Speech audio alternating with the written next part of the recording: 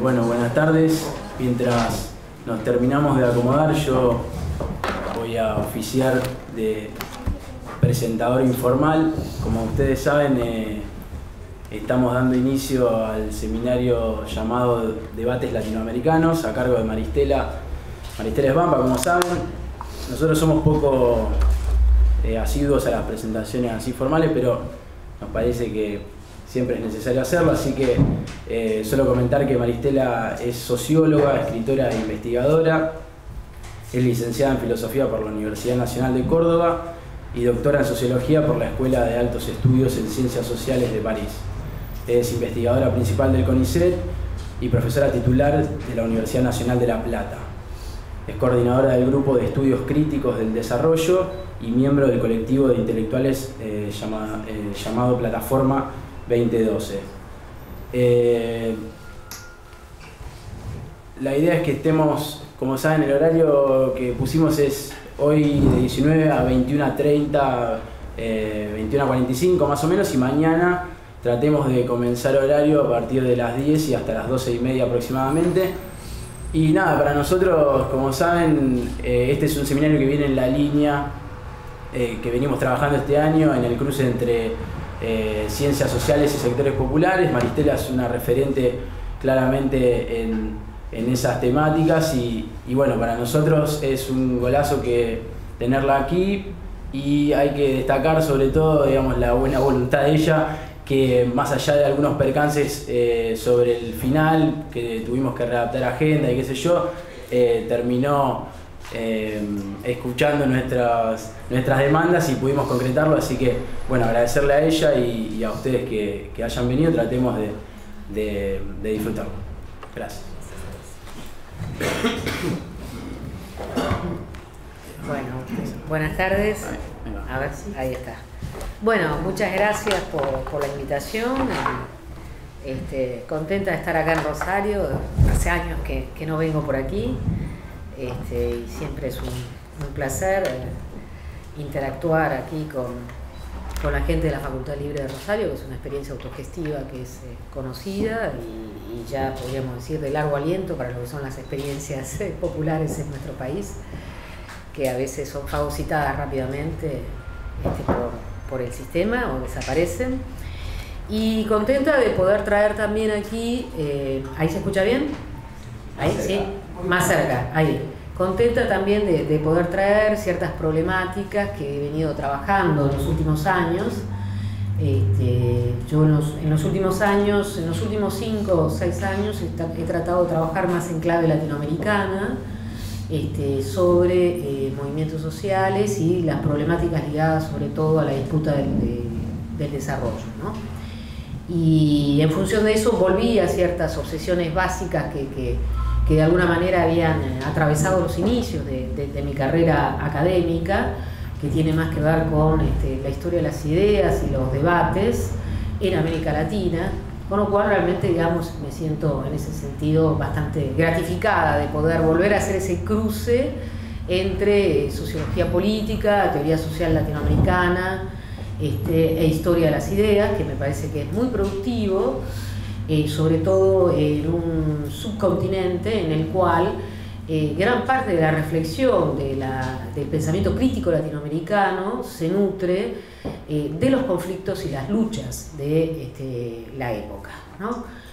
yo creo que esa es una cuestión fundamental a, tener en cuenta, al menos yo parto de esa base, del hecho de que este, me sitúo en una tradición, digamos, en lo que se denomina la tradición crítica del pensamiento latinoamericano, que este, acompaña experiencias y se nutre también. Y varias de las categorías que recorren nuestra reflexión, en muchos son también este, elaboradas a partir de esa interacción este, con movimientos sociales y experiencias políticas que se han gestado en, eh, el continente.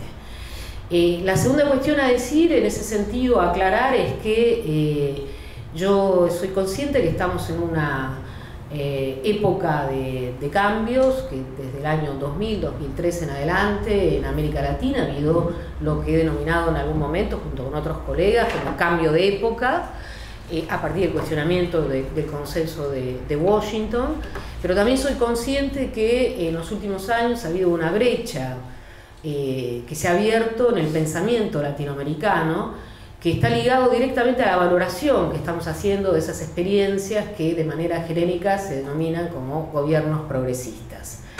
Entonces, eh, mi reflexión parte de del hecho de que soy consciente que eh, estoy pensando desde la incomodidad, desde la incomodidad que genera este, no avalar el pensamiento hegemónico, desde la incomodidad que genera también la eh, necesidad y la exigencia de elaborar un saber crítico, independiente, no solo de las grandes corporaciones, no solo de los poderes mediáticos, sino también de los gobiernos políticos de turno.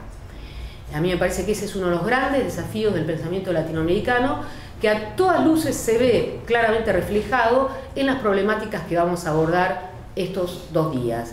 Sin elaborar un saber experto independiente de esos tres poderes, yo creo que el pensamiento latinoamericano realmente está en problemas.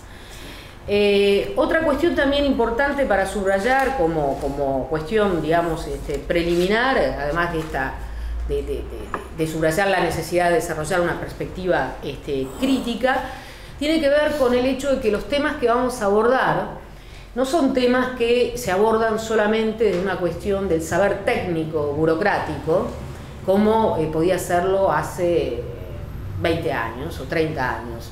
Vivimos insertos en tiempos de mucha incertidumbre.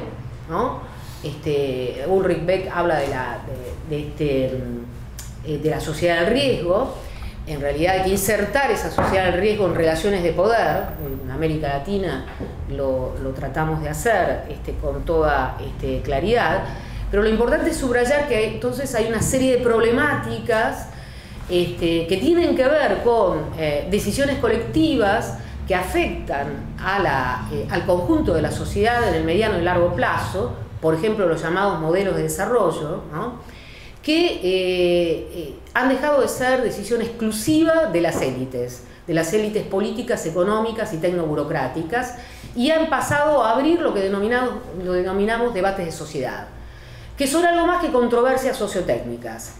No es eh, una reunión de peritaje, no es eh, un intercambio entre dos expertos este, que eh, tratan de contraponer este, su saber, sino que hay en ese sentido este, ante la sospecha de que los impactos de los modelos de desarrollo son este, impactos, puede haber impactos negativos de carácter irreversible en lo ambiental para el ecosistema, pero también en términos culturales y sociales, es que se abre una brecha en la sociedad contemporánea que hace posible la participación de la sociedad en términos de decisión colectiva.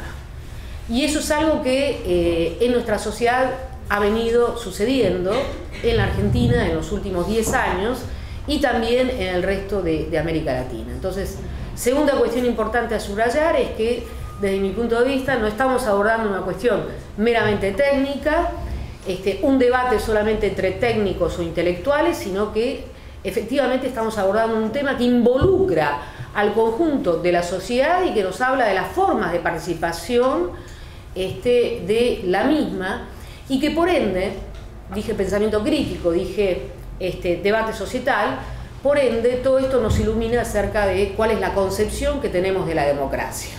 Es decir, efectivamente uno de los temas fundamentales que pone en la agenda la discusión de estos temas que tienen que ver con territorios, este, movimientos sociales, este, desarrollo, este, tiene que ver con este, la concepción, o más bien con eh, la idea que tenemos acerca de la democracia y la extensión de los derechos, y la extensión de los derechos de, este, de la misma. ¿Está bien ahí? Sí. Sí. Esto para que se escuche bien. Ah, es que... Sí, además va a ser un poco complicado porque ahora vos sabés que tengo que agarrar la Bueno. maquinita. Y te doy, Eh. si querés el inalámbrico, ¿querés? Ay, sí, me encanta. Ah, No sé, nunca probé, pero me parece que va a ser mejor si, si no, no voy a poder pasar ahí el PowerPoint. Entonces, eh, la cuestión de eh, la relación entre, entre eh, modelo de desarrollo, cuestión ambiental, territorios, movimientos sociales, nos ilumina acerca de este, lo que entendemos por la democracia y lo que son este, sus fronteras. Entonces, me parece que es uno de los debates este, fundamentales. A ver si esto...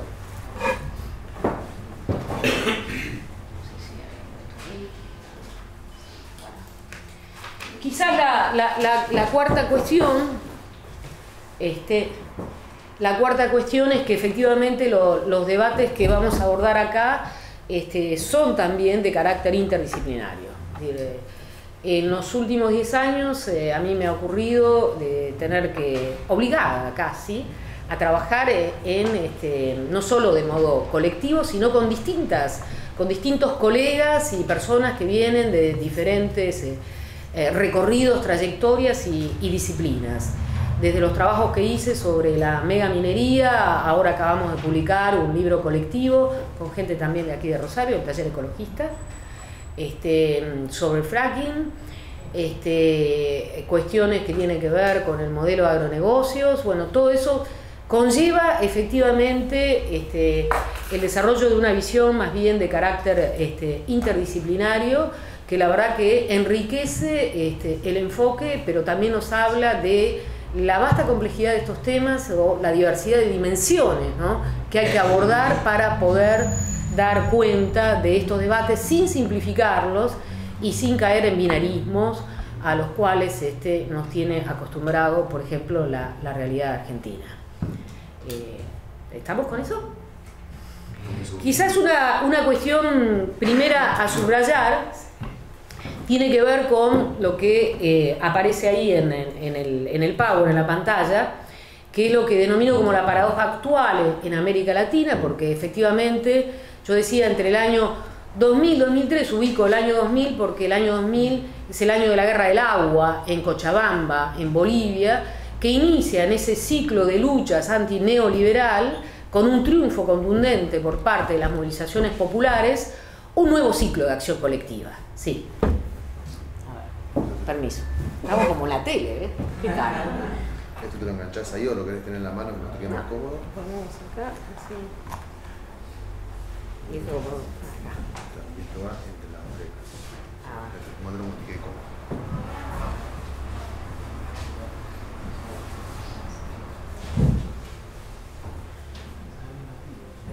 Para que. Disculpen, pero.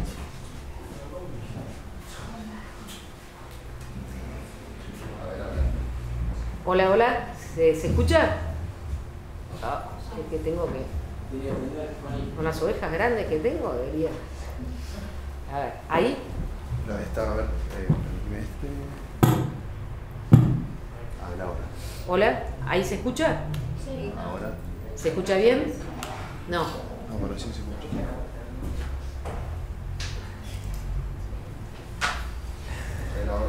Hola, ¿ahí se escucha? No. Hola.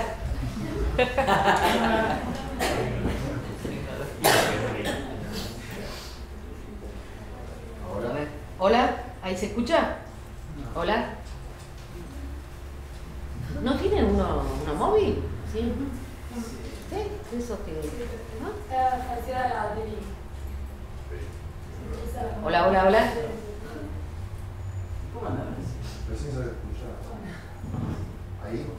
Hola, ¿ahí se escucha? Ahora, eh, la cuestión es que si yo tengo que usar micrófono porque usted graba, es eso, ¿no? No, no, no. ¿Ah, no? Para que se escuche. No, pero entonces yo hablo fuerte. Si se escucha, ¿se escucha si yo hablo así? No, yo Después Después, eh, si hay, en algún momento puedo agarrar el micrófono acá, pero no hay problema, no hay problema así.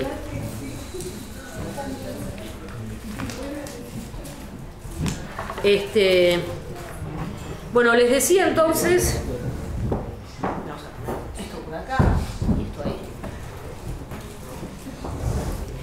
Les decía entonces que el, punto de partida es, eh, consideramos que es el año 2000, el año de, la guerra del agua en Cochabamba, allá en Bolivia, este, de un ciclo que en realidad, en términos de luchas de, ciclo, digamos, antineoliberal arranca en el 1994 con este, el alzamiento zapatista, pero tiene un punto de inflexión eh, muy importante en el año 2000 porque es un gran triunfo de parte de este, las movilizaciones este, articuladas de distintas organizaciones en Cochabamba que logran expulsar a una gran transnacional este, que intentaba subir de manera desmesurada el precio del agua. Eso inicia, inicia un nuevo ciclo de luchas en América Latina que se ve efectivamente, este, sucedió por lo, que, por lo que ocurre en Argentina en el año 2001-2002, luego en Ecuador, nuevamente en 2003 este, Bolivia, pero el caso es que efectivamente es en esa época en la cual este, eh, nuevamente se trae a la agenda la noción de movimiento social en sentido fuerte, que había sido abandonado casi esa noción dentro de las ciencias sociales, eh, no solo argentinas, sino a nivel latinoamericano, este, y había sido la noción de protesta, la que de alguna manera había sido hegemónica en el relato de las luchas que antineoliberales en América Latina. Pero vuelve la noción de movimiento social. Lo importante es que estos movimientos sociales en América Latina colocan en la agenda política y social nuevos temas que tienen que ver con el despojo de los derechos, pero que también apuntan a una nueva este, institucionalidad, que es entendida de manera diferente según los este, movimientos sociales a los que hagamos referencia. A partir del año 2003, algunos lo sitúan antes, también se da la emergencia de los gobiernos que genéricamente denominamos centroizquierda, progresistas, populares, como ustedes quieran, en todo caso, son esos gobiernos que creen en el progreso, como dice Edgardo Lander, por eso se llaman progresistas, este, pero efectivamente son gobiernos que inauguran una nueva época, que abren la posibilidad a pensar la relación entre economía, sociedad y política desde otro lugar y que colocan claramente, este, eh, cuestionan el consenso de, de Washington. Y las experiencias más radicales de estos gobiernos han sido sin duda Ecuador y Bolivia, sobre todo el segundo, más Bolivia que Ecuador, son esos países en los cuales van a surgir además nuevas categorías que recorren la gramática política de los movimientos sociales este, hoy. ¿no? Eso es importante subrayarlo porque es en ese momento de apertura radical que se instalan conceptos también propositivos, no solo conceptos críticos del neoliberalismo, sino conceptos propositivos como Estado plurinacional, buen vivir, derechos de la naturaleza, bienes comunes, que van a estar intrínsecamente ligados a las luchas territoriales de los diferentes movimientos sociales en, América Latina. Eh, momento eh, fundacional que, en los gobiernos de Ecuador y Bolivia se ve sintetizado en las nuevas constituciones políticas. Nuevas constituciones en las cuales estos derechos, muchos de ellos de carácter colectivo, son constitucionalizados.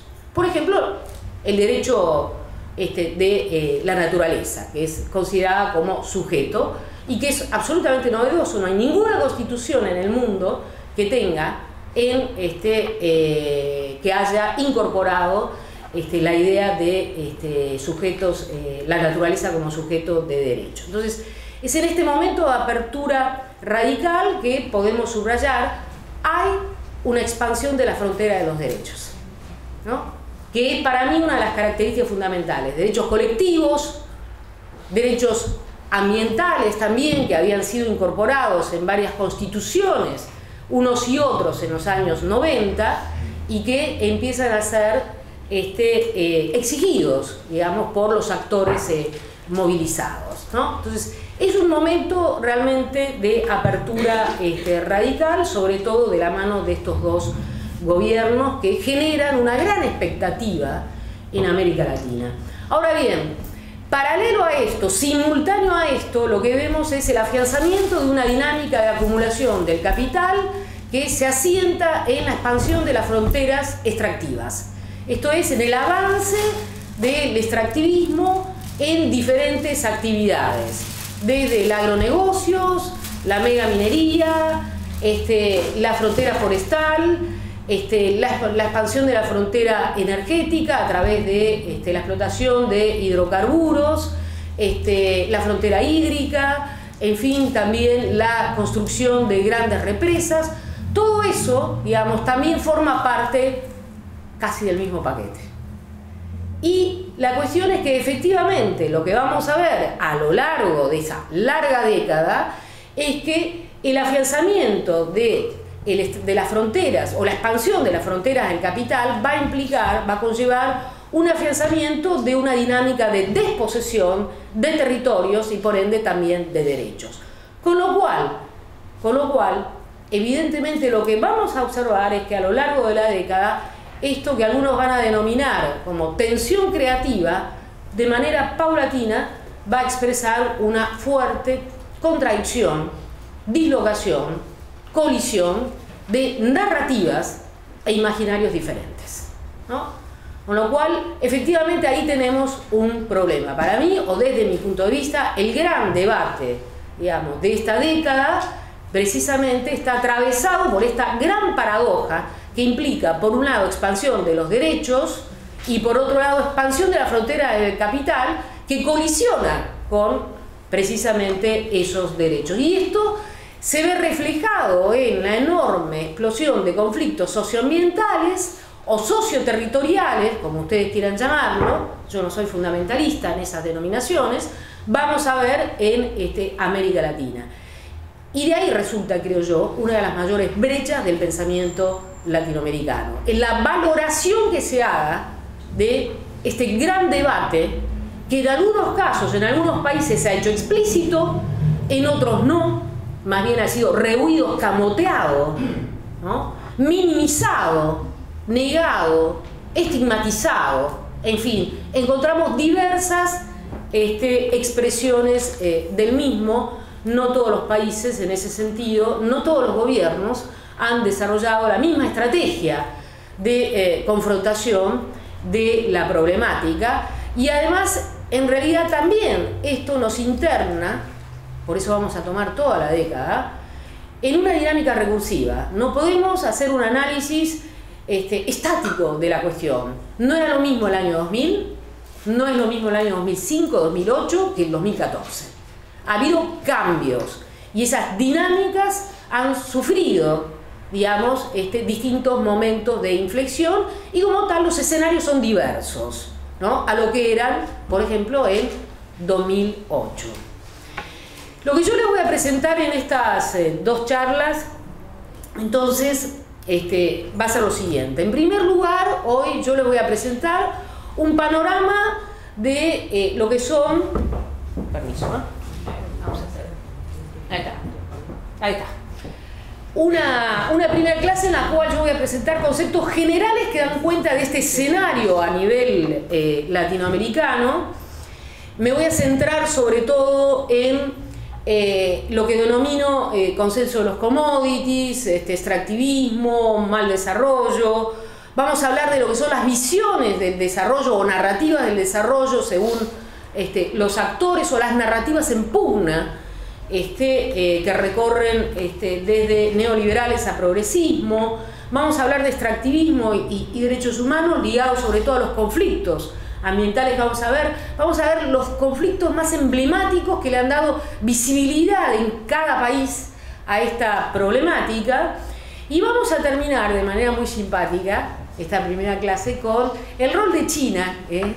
que nos tiene muy preocupados a varios en América Latina. Yo desde el 2010 vengo siguiendo la temática y a uno de los chicos del equipo, un economista que es divino, se llama Ariel Slipak, ya se transformó en un, en un especialista, ¿no? Lo convocan a todos lados para hablar de China y él está trabajando la temática en clave más bien argentina, pero como también trabajo en un grupo que se llama eh, así Grupo de Permanente Alternativas al Desarrollo, que nos reunimos en, este, en, Ecuador y en, y en, Bolivia, trabajamos y seguimos muy de cerca este, la cuestión de China. Y como ha habido varias... Eh, novedades al respecto, sobre todo en Argentina en los últimos tiempos, quería cerrar esta primera charla con, con eso, con ese tema. Y en la clase, en la charla próxima, mañana de mañana, vamos a hablar más de movimientos sociales. ahí vamos a hacer una mirada más general de los movimientos sociales para hablar de movimientos socioterritoriales de manera más concreta, es decir, movimientos y territorio, y lo que podemos denominar son los tópicos que atraviesan, digamos, esta nueva gramática política. Y este, ahí me interesaría este, efectivamente hacer una, reflexión más en clave de cuáles son los conceptos, ¿no? este, marco que recorren entonces estas, este, luchas socioterritoriales. Entonces, esa es la división que les propongo para hoy. A ver, acá.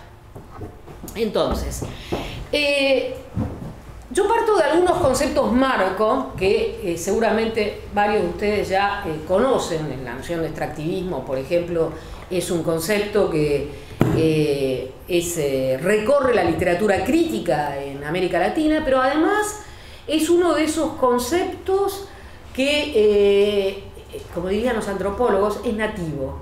También lo utilizan los propios movimientos sociales, ¿no? Es una categoría que tiene una gran productividad este, analítica, descriptiva y también política. Una carga política también muy fuerte, tal es así que en varios países han tenido que responder digamos, este, a la crítica que se hace del este, extractivismo. Eh, y la otra es la de mal desarrollo, que es eh, también el título de, de, mi último libro, después se lo voy a mostrar. Este, eh, y la de dinámicas territoriales. Así que esos son como los tres conceptos así más, tres o cuatro conceptos más generales que de alguna manera este, son los que enmarcan eh, eh, mi presentación. Primero, consenso de los commodities o de las materias primas. este, yo suelo decir que en los últimos 10-12 años hemos pasado del consenso de Washington al consenso de los commodities. Eh, subrayando el hecho de que el consenso de Washington efectivamente se centró en la valorización este, financiera, implicó ajuste y altos niveles de exclusión, eh, una fuerte transformación del Estado y su modo de intervenir en la sociedad, tanto hacia abajo, sobre los sectores populares, como también la pérdida de soberanía, convirtiéndose en una suerte de Estado meta regulador, este, sometiéndose a instancias supranacionales. Pero efectivamente el proceso de descolectivización y exclusión que implicó el consenso de Washington es algo que jamás olvidaremos, ¿no? ni los argentinos ni en otros países de América Latina. Pero bueno, en la década, en esta larga década atravesada por gobiernos progresistas, pero también por gobiernos neoliberales y conservadores, creo yo que nos hemos instalado de lleno en un momento que podemos caracterizar como consenso de los commodities, porque efectivamente lo que es valorizado hoy en día es la exportación masiva a gran escala de productos primarios, los llamados eh, commodities, que tienen un valor, ustedes saben, este, eh, estandarizado en el mercado y cuyo valor se depende también de las fuerzas este, del mercado, aunque muchas de ellas tienen que ver con el capital financiero. Pero efectivamente digamos, hablamos de, commodities porque América Latina vemos que ha hecho una apuesta a la exportación a gran escala de commodities. Esto no quiere decir de que América Latina nunca se haya dedicado a esto. Lo sabemos que tradicionalmente este, América Latina ha sido exportador de naturaleza, como decía el venezolano Fernando Coronil, ¿no? Pero en los últimos 10, 15 años esto se ha intensificado notablemente.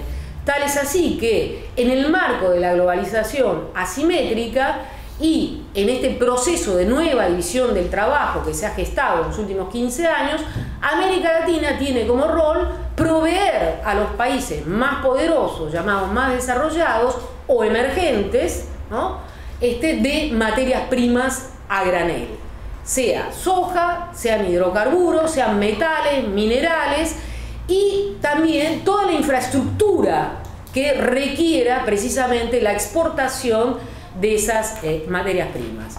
Ahora, ¿qué sucede? Que efectivamente a partir del año 2003 sobre todo, se al boom de los precios de los commodities, porque obviamente esto está ligado al llamado alza, al alza, al incremento notorio que tuvieron las este, materias primas en el mercado este, global.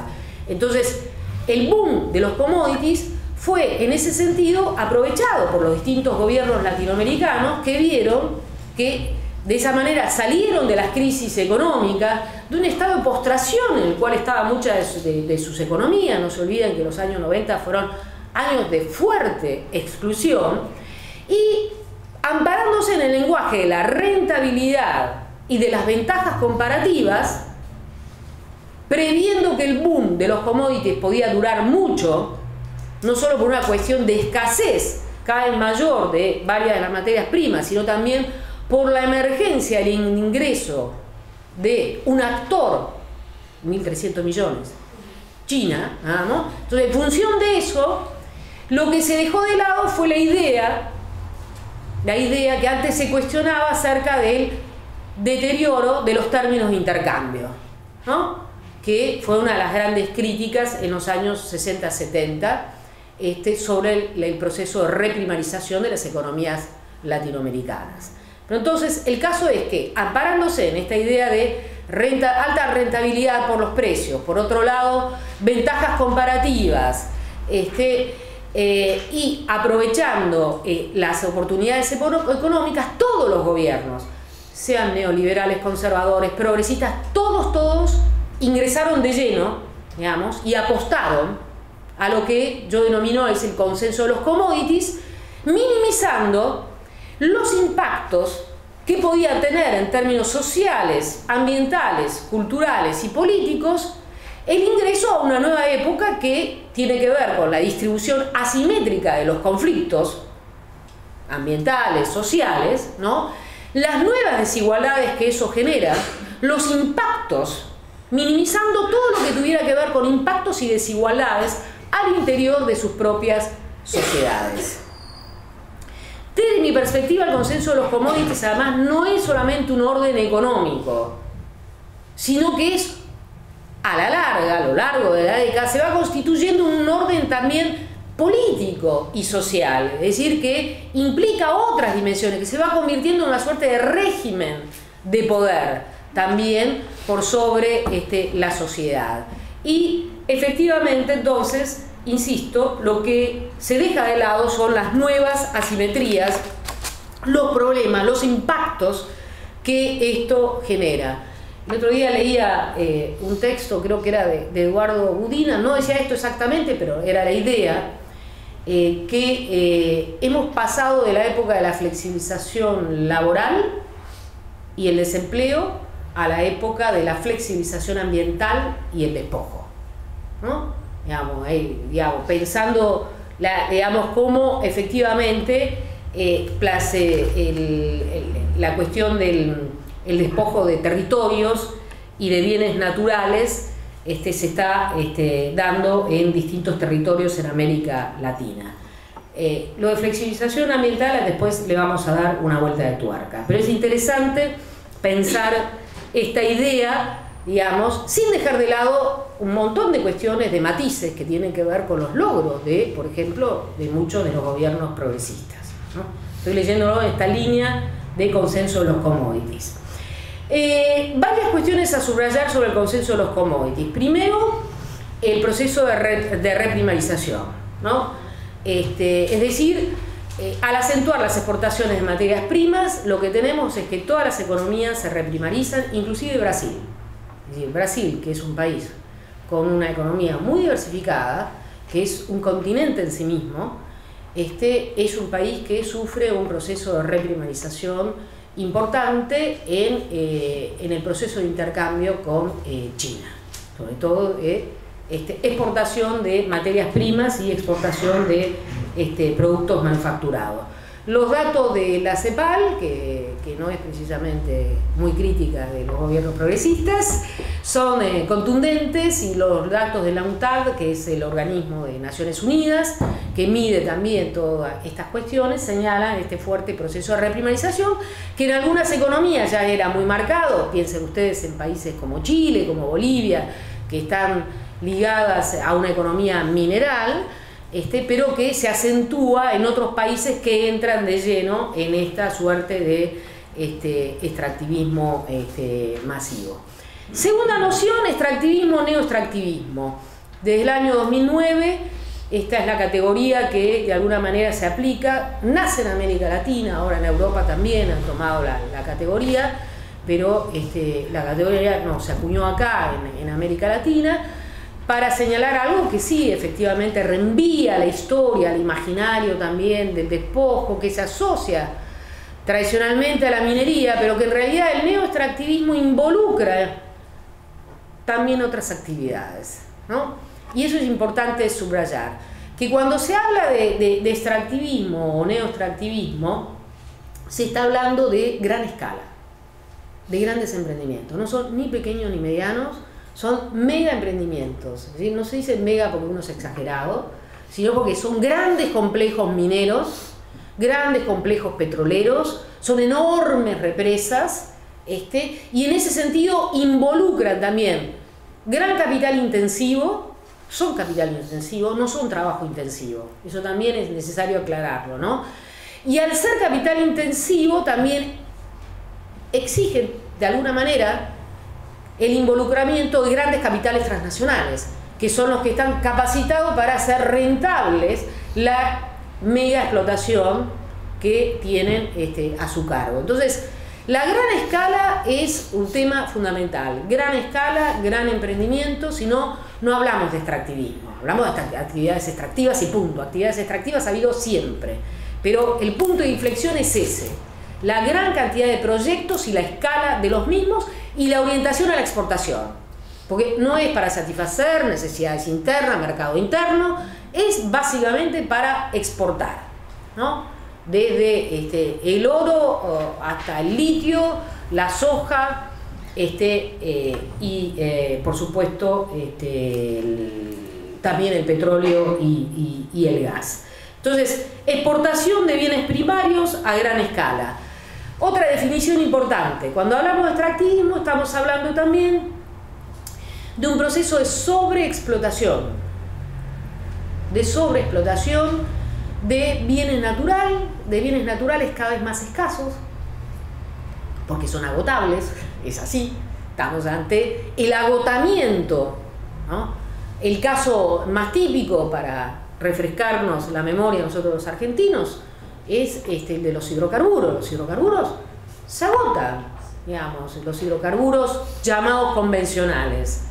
Lo que queda, el remanente, que tiene mayores costos económicos y enormes costes ambientales, son los hidrocarburos no convencionales que se pueden extraer, digamos, con la eh, técnica eh, llamada de fractura hidráulica o el fracking. ¿no?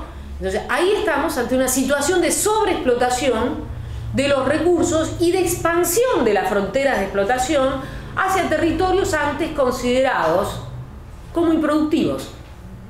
¿no?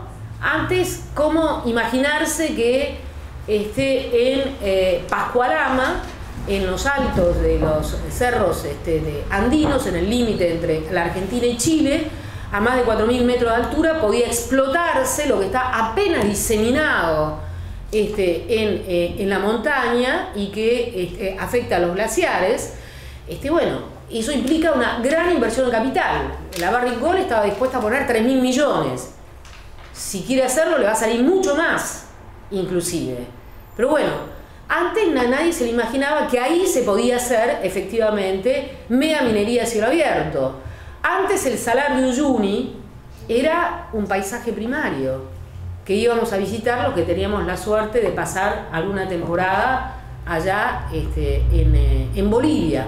Hoy en día el Salar de Uyuni es visto como una suerte de recurso natural estratégico, porque es ahí donde encontramos una de las eh, reservas de litio más importantes del mundo. Entonces, el, Amazonas, la, la, región de la Amazonía sin duda es la más emblemática también, porque eso implica corrimiento de la frontera ¿no?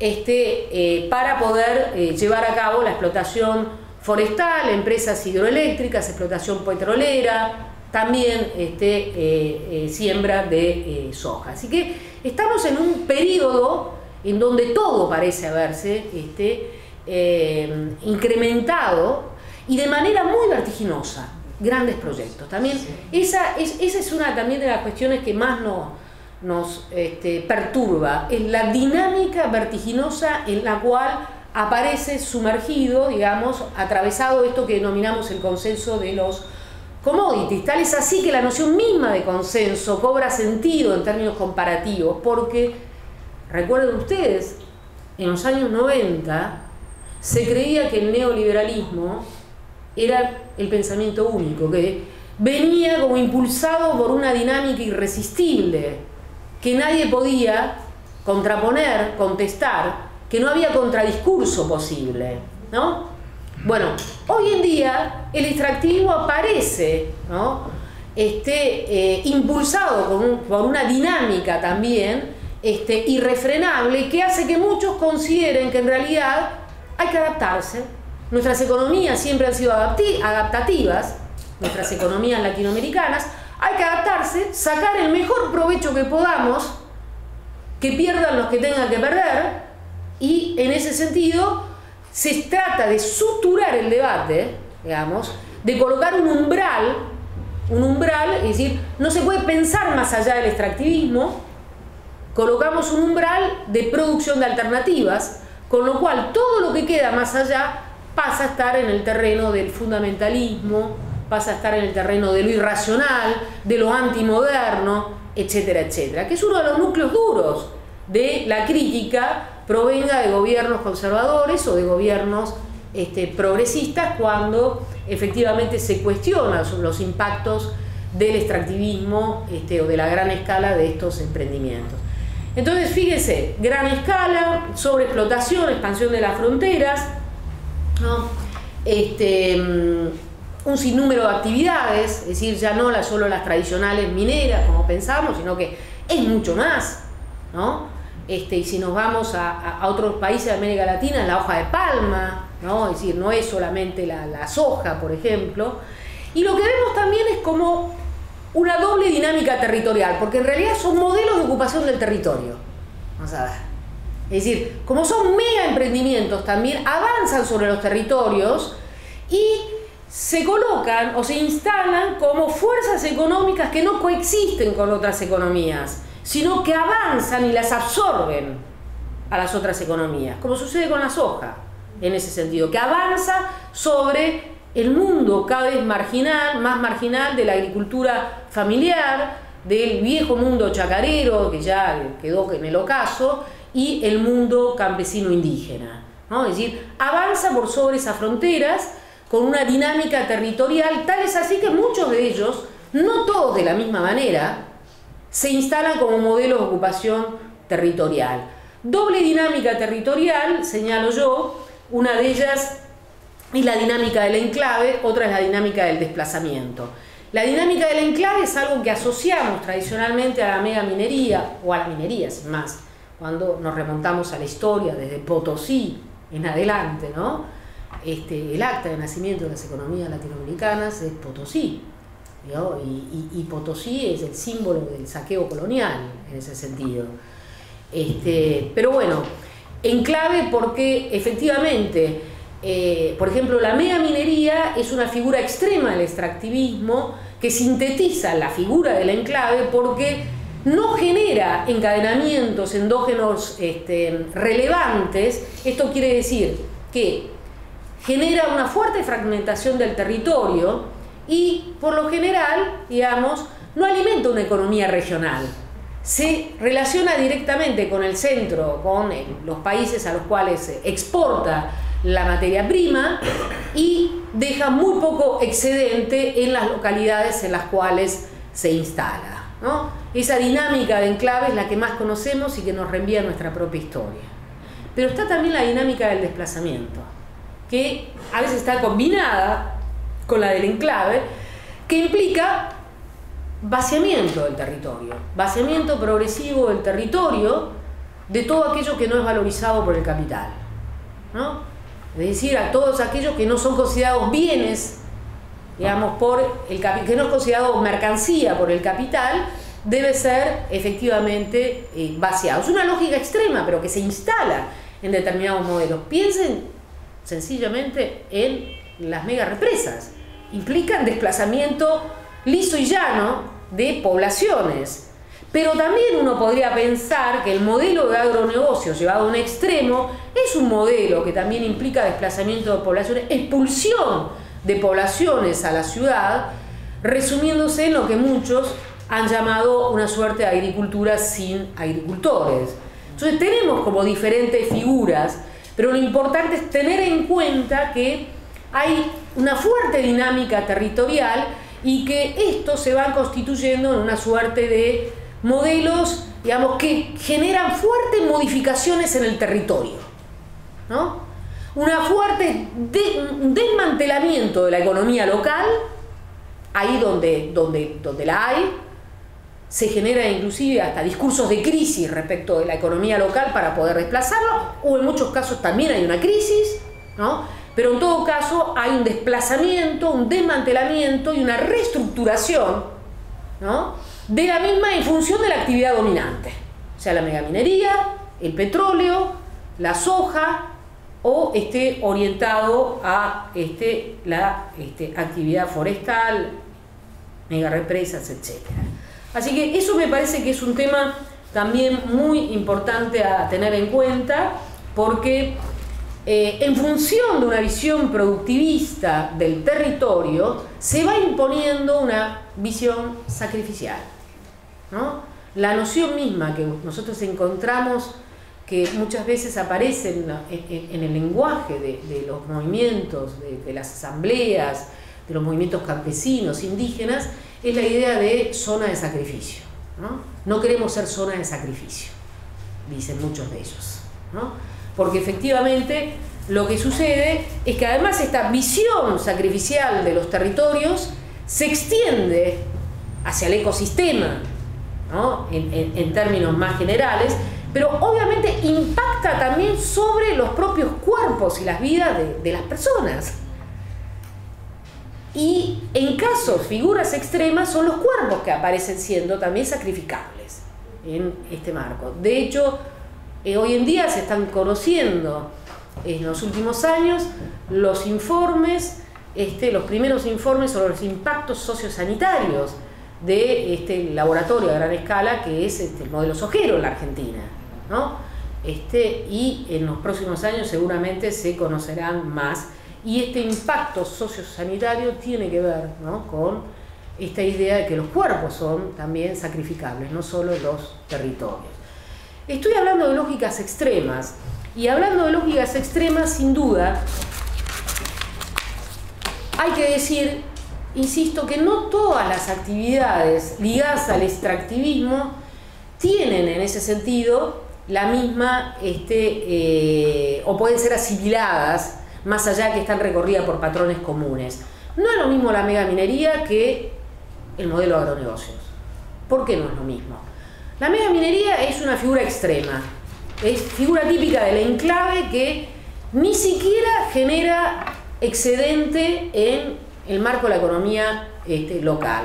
Vamos a ver que, por ejemplo, América Latina está marcada por fuertes conflictos ligados a la megaminería. ¿no? Ahí donde penetra la mega minería, en general hay conflictos. En el caso, por ejemplo, de este, el modelo de agronegocios, que tiene fuertes impactos sociosanitarios, tiene en ese sentido una gran complejidad como modelo. Ustedes lo conocen nada más como rosarinos, santafesinos que son. Es un modelo en el cual se articulan diferentes actores.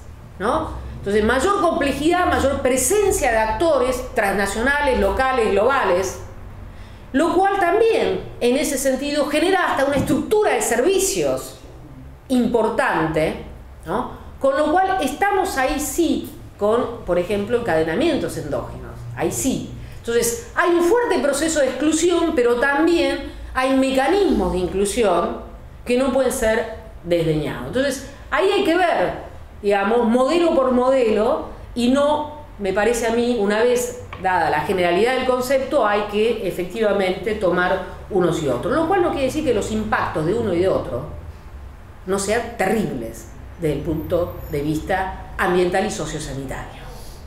¿no? Es decir, que no sea, que no que ambos generan daños irreversibles, eso sin duda. Pero como la nuestra es una mirada más integral, que intenta ver, intenta leerlo como sistema también territorial, ¿no? Es importante subrayar esto.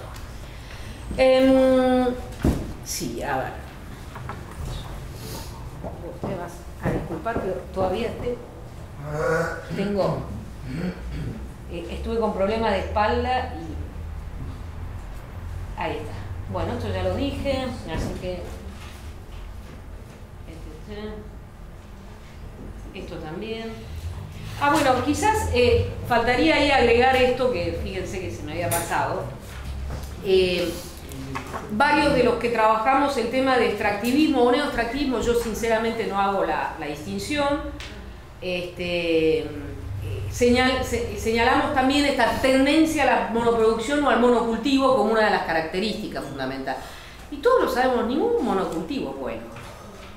No puede generar una cadena virtuosa, ningún monocultivo. Y bueno, en este caso, fíjense, en el, caso de la Argentina, hay 20 millones de hectáreas ¿no? ahora cultivadas de soja sobre 33 millones este, cultivadas, este, cultivables. Creo que tengo por acá la cifra de Paraguay, que es el también, lo debo tener por acá, 66% de las tierras cultivables están consagradas a la soja en Paraguay.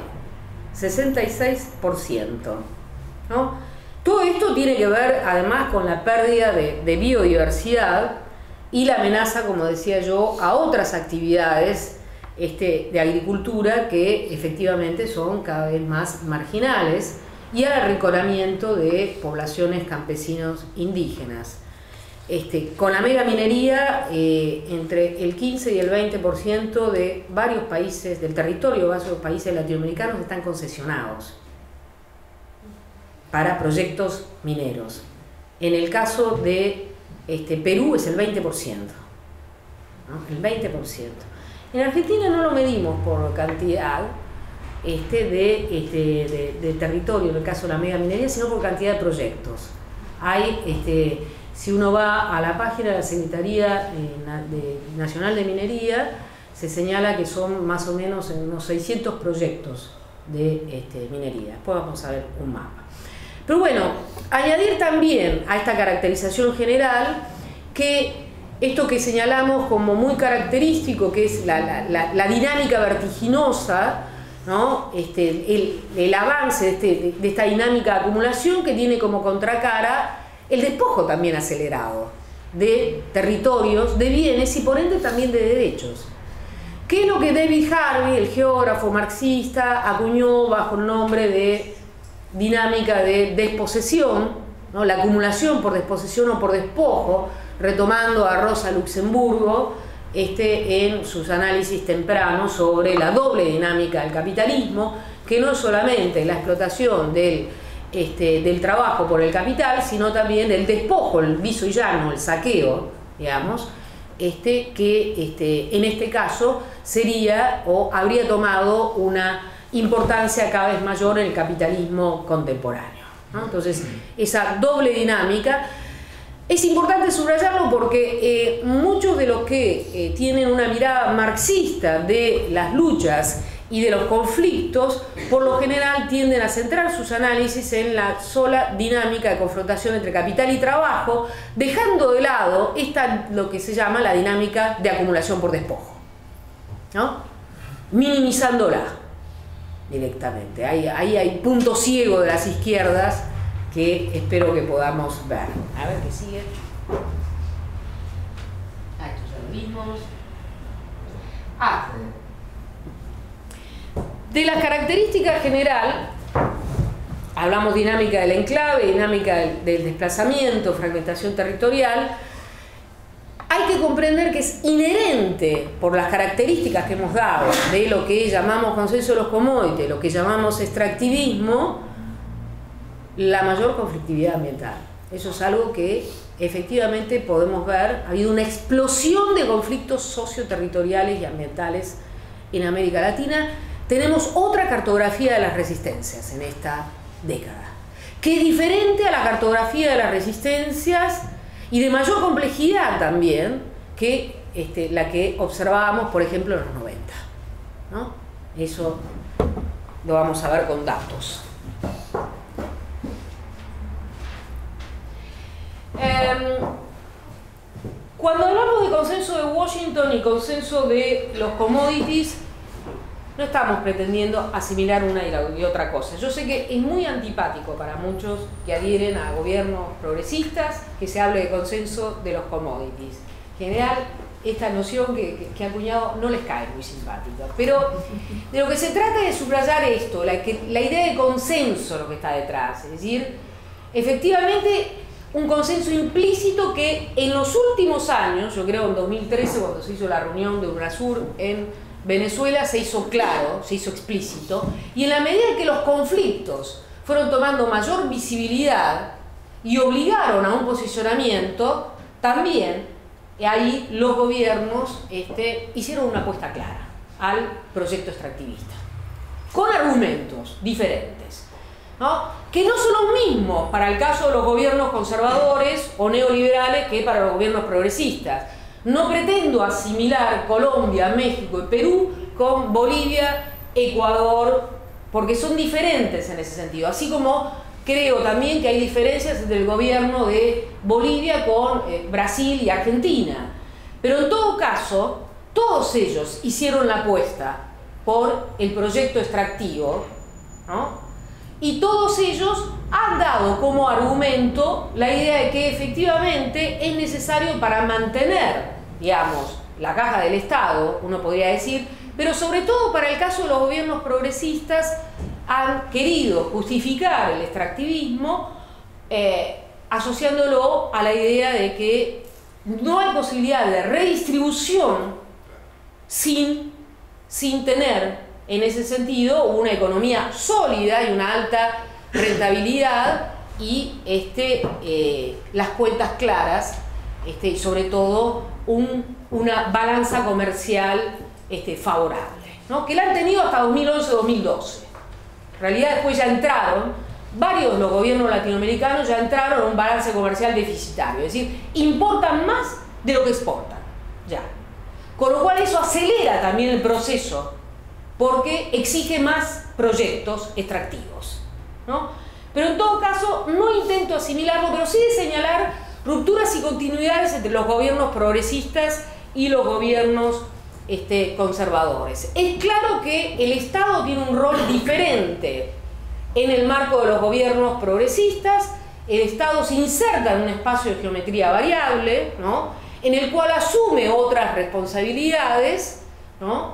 asume un papel mayor al que tenía en los años 90, eso depende en cada país, no, no podemos tampoco generalizar, y depende también el tipo de actividad al cual hagamos referencia. Pero lo que es claro es que tienen un nivel de intervención en relación a los sectores populares diferente, que plantea una cierta inclusión de los mismos. Entonces, es un abre un espacio de democratización diferente al de los gobiernos este, eh, eh, neoconservadores y liberales, en cuanto al rol del Estado y en cuanto a la modalidad de participación. Pero vamos a ver que efectivamente hay otras cuestiones que son comunes a unos y otros.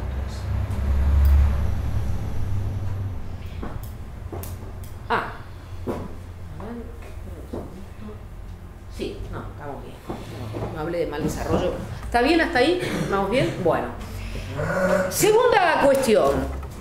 Antes de entrar a lo que podemos denominar son las fases, los momentos, las etapas de esta larga década, este, para tener una visión más dinámica ¿no? y no quedarnos con una imagen así estática, a mí me gustaría hablar un poco de las visiones del desarrollo.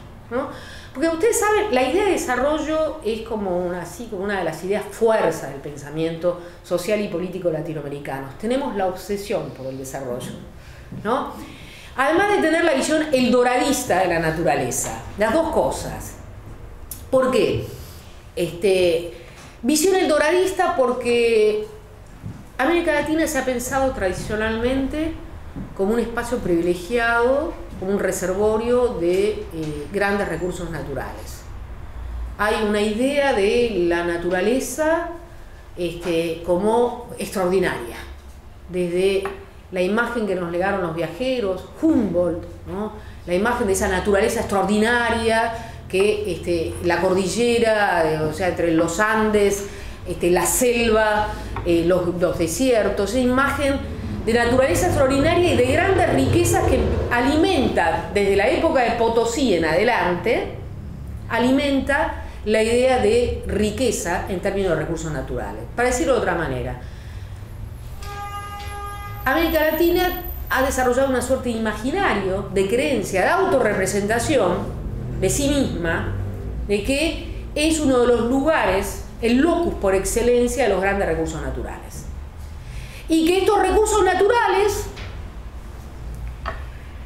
pueden ser descubiertos de manera súbita y se ligan a los distintos ciclos económicos.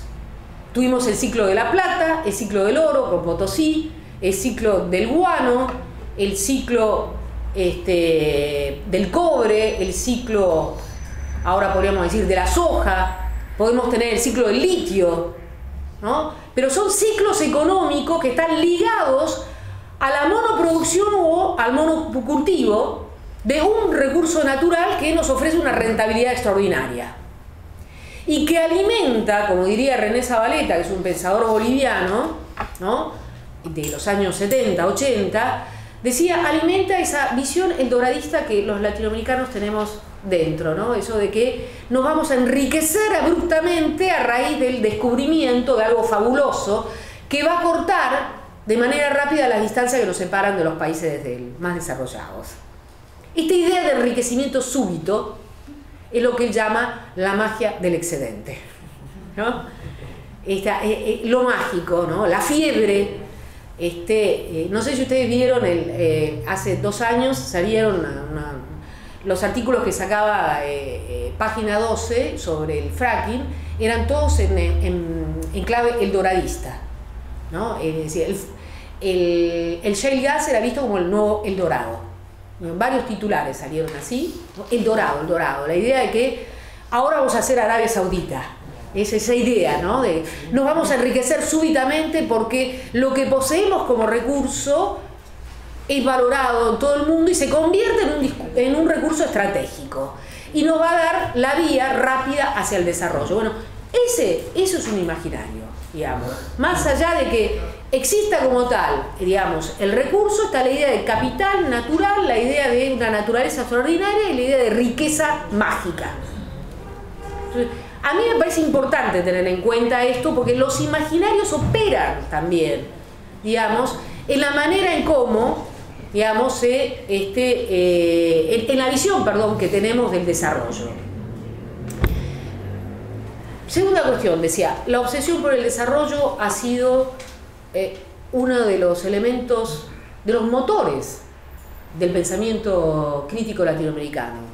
La CEPAL, la Comisión Económica para América Latina en los años 50, eh, recordarán este, ustedes, fue la que inició de alguna manera ese, ese, la vía heterodoxa eh, para pensar el desarrollo. Es el momento en el cual internacionalmente se coloca en la agenda el tema del desarrollo y la CEPAL, con Previs y otros economistas, después de hacer, digamos, un, análisis este, interesante sobre las economías latinoamericanas, este, el diagnóstico que establecen es que efectivamente nuestros países, en realidad hay una relación asimétrica entre centro y periferia, la periferia tiene una economía más bien este, heterogénea ¿no? este, y especializada hiperespecializada sobre todo en la producción de materias primas, ¿no? y está condenada al deterioro este, del intercambio entre materias primas y productos manufacturados. Para hacerlo, decirlo sencillamente, ¿no? porque lo que la CEPAL trata de pensar en los años 50 es una vía latinoamericana para la industrialización. ¿no? Este, que la trata de pensar inclusive diferente de los países soviéticos, ¿no? y diferente a los países eh, desarrollados que eh, lo que hacen es reforzar las relaciones asimétricas directamente. ¿no? Entonces, es importante porque es la primera vertiente crítica que coloca el acento en la necesidad de pensar una vía latinoamericana de desarrollo y para esto proponen, como las burguesías nuestras son débiles, al Estado, ¿no? al Estado con el megactor, el Estado planificador. ¿no? Interesante, este pensamiento después sufrió ataques y críticas por todos lados. Primero vinieron los dependentistas, que en clave marxista dijeron que en realidad esa era una vía reformista, que la relación entre centro y periferia no se resolvía a través de una vía heterodoxa a la industrialización, sino a través de la alternativa revolucionaria, de alternativas radicales. Sin embargo, los dependentistas, que son muchos y tienen miradas diversas, seguían sosteniendo la idea de desarrollo.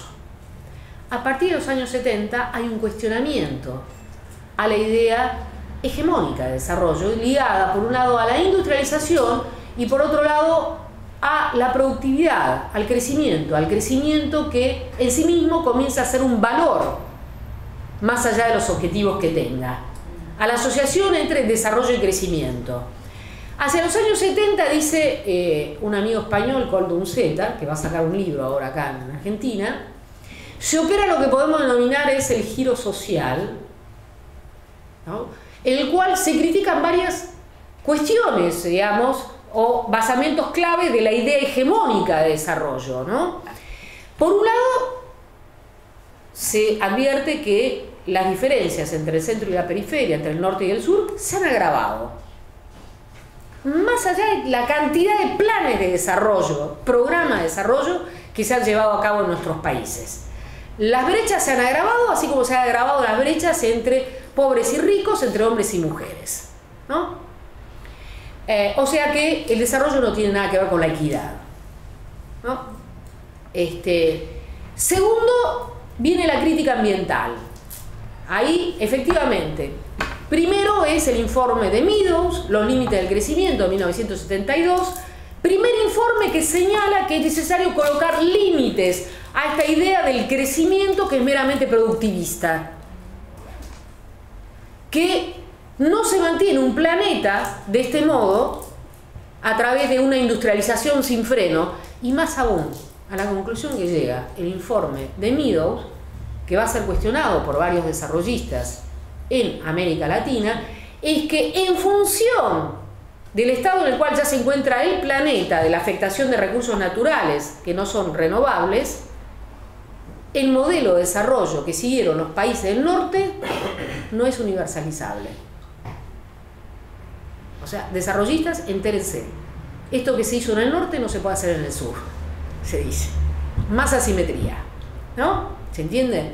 Entonces, hay una crítica fuerte que inicia, digamos, el informe de, Meadows, o los límites de crecimiento del 72, que se confirma en la conferencia Nuestro Futuro en Común, que es del 87, y en los 90 nace la noción de desarrollo sustentable que es una noción que nace con una gran expectativa, alimentada por los movimientos ecologistas de la época, que la buscaban asociar ya a la idea de equilibrio intergeneracional, pensando en qué planeta le vamos a dejar a nuestros hijos, no solo pensando en la satisfacción de nuestras necesidades, sino las necesidades de aquellos que van a venir después. Y la noción de desarrollo sustentable nace ligada a esa idea de controla una industrialización acelerada, sin freno, que tiene ya fuertes impactos en el ecosistema, y la noción de equilibrio intergeneracional. Sin embargo, esta noción de desarrollo sustentable entró en un campo de disputa. Entró en un campo de disputa y nunca terminó de definirse del todo. En el sentido de que, en realidad, hay múltiples definiciones Tal es así que efectivamente la mayor parte de los movimientos ambientalistas abandonaron la noción de desarrollo sustentable en la medida en que esta fue vaciada, apropiada por gobiernos y corporaciones, que en ese sentido bastardearon su contenido, o para decirlo de otra manera, podemos decir, en realidad ha habido muchos avatares muchas reuniones internacionales, muchas cumbres. Una de ellas fue la cumbre de Río en 1992, luego se hizo la cumbre de Río más 20 hace poco tiempo. Pero todas estas cumbres fueron desglosando y debatiendo qué se entendía también por desarrollo sustentable, Concepto que entonces entró en la agenda con una diversidad de acepciones y que fue definiendo al menos, podríamos decir, dos versiones diferentes de la sustentabilidad. Podemos decir, hay una versión débil de la sustentabilidad que apuesta a la idea de que efectivamente es posible controlar el desarrollo sin limitarlo, generando tecnología adecuada y eficiente, es decir, que apuesta al control tecnológico de los desbordes tecnológicos o de los impactos que genera la tecnología. Lo que se llama la, tesis de la modernización ecológica, diría Joan Martínez Ariel. ¿no? Eso es sustentabilidad débil. Y están aquellos que apuestan a la sustentabilidad fuerte, que efectivamente ya tenemos que ir cerrando, ya la, primera horita. No dije nada todavía. Eh, cinco minutitos, puede ser. Cinco minutitos. Eh, la, idea de sustentabilidad fuerte que van a eh, cargar, dotar de sentido movimientos sociales, organizaciones, ONG de muy diverso cuño. Hay de todo en ese mundo, de todo pero que va a ser retomada sobre todo por aquellos movimientos sociales, lo que algunos llaman la ecología popular, la ecología de los pobres, la ecología de la supervivencia, que desde la India hasta América Latina vamos a encontrar, y que va a apostar entonces a una definición fuerte de la noción de sustentabilidad, acoplada a la de equidad también, sin duda, y pensando en este, eh, la, conservación del, ecosistema y la vida. Entonces, la noción de, desarrollo es una noción en disputa, insisto, pero hay una visión hegemónica. Hay una visión hegemónica que este, se gestó en los años 50 al calor de la industrialización sin freno, Luego vinieron críticas, la crítica más importante, más interesante, viene de la ecología o el ambientalismo, ¿no? Este, eh, pero de todas maneras hay que insistir que la idea de desarrollo, que es eh, una noción fuerte, que es un relato, un gran relato en ese sentido, que sostiene a la modernidad misma, ¿no? Que es una promesa que, que se colocó como promesa emancipatoria, como idea en sí misma desapareció, por ejemplo, en los años 90. No sé si ustedes se acuerdan, los que no son jóvenes, como yo, se acuerdan, en los años 90 desapareció, en los años 90 nadie hablaba de desarrollo. Se hablaba de productividad, competitividad, pero no de desarrollo. Esa idea desapareció porque además la noción misma de desarrollo estaba asociada a la de mega actor y el neoliberalismo arrasó con eso, con la idea de, del Estado como mega actor. ¿no? Entonces, digamos, en ese contexto de achicamiento del Estado, de localización, descentralización, desaparece y vuelve a aparecer nuevamente, más allá de las críticas que se le han hecho desde el ambientalismo, de la crítica social, la crítica neoliberal, ¿no? por la idea del Estado fuerte, reaparece a partir del año 2000-2003, nuevamente en América Latina, como un fuerte contenido ligado a los megaproyectos extractivos.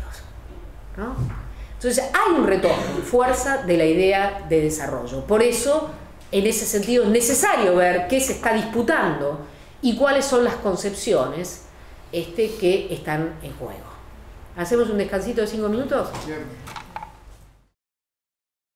Les decía que entonces eh, en, la hora actual, hacia el año 2000-2003, un retorno de la idea misma, de la noción fuerte de, desarrollo como un gran relato estructurante. Este, hay que insistir también en la idea de que eh, esta visión productivista del desarrollo asociado al crecimiento, para decirlo en términos clásicos, a la expansión de las fuerzas productivas eh, es muy propia también de las miradas de las izquierdas. Las izquierdas en América Latina han sido tradicionalmente productivistas, sean izquierdas socialdemócratas, nacional popular o antisistémicas. O no, no, no, sin azúcar. Ah, ¿eh? Gracias. Las izquierdas han sido este, productivistas y han tendido a hacer una, una lectura eh, de, la cuestión, digamos, del conflicto más ligado a la expansión de las fuerzas productivas que a, las luchas de clase a veces, ¿no? Este, eh, ese es un tema que insisto en subrayar porque eh, todo lo que tiene que ver con la cuestión ambiental eh, en América Latina va a ser vista como una cuestión exógena por parte de la izquierda, como algo importado de los países más ricos, más desarrollados, que en realidad no es un problema nuestro, que aquí lo que hay que hacer es acelerar este, la expansión de las fuerzas productivas y por ende este, hay aquí, digamos, otro, otro problema más, digamos. No solamente una representación eldoradista de la naturaleza, no solamente una visión, digamos, eh, hegemónica del desarrollo, sino que en las propias izquierdas este, encontramos el, eh, el problema también, ¿no? Y lo vamos a ver en esta, en esta década.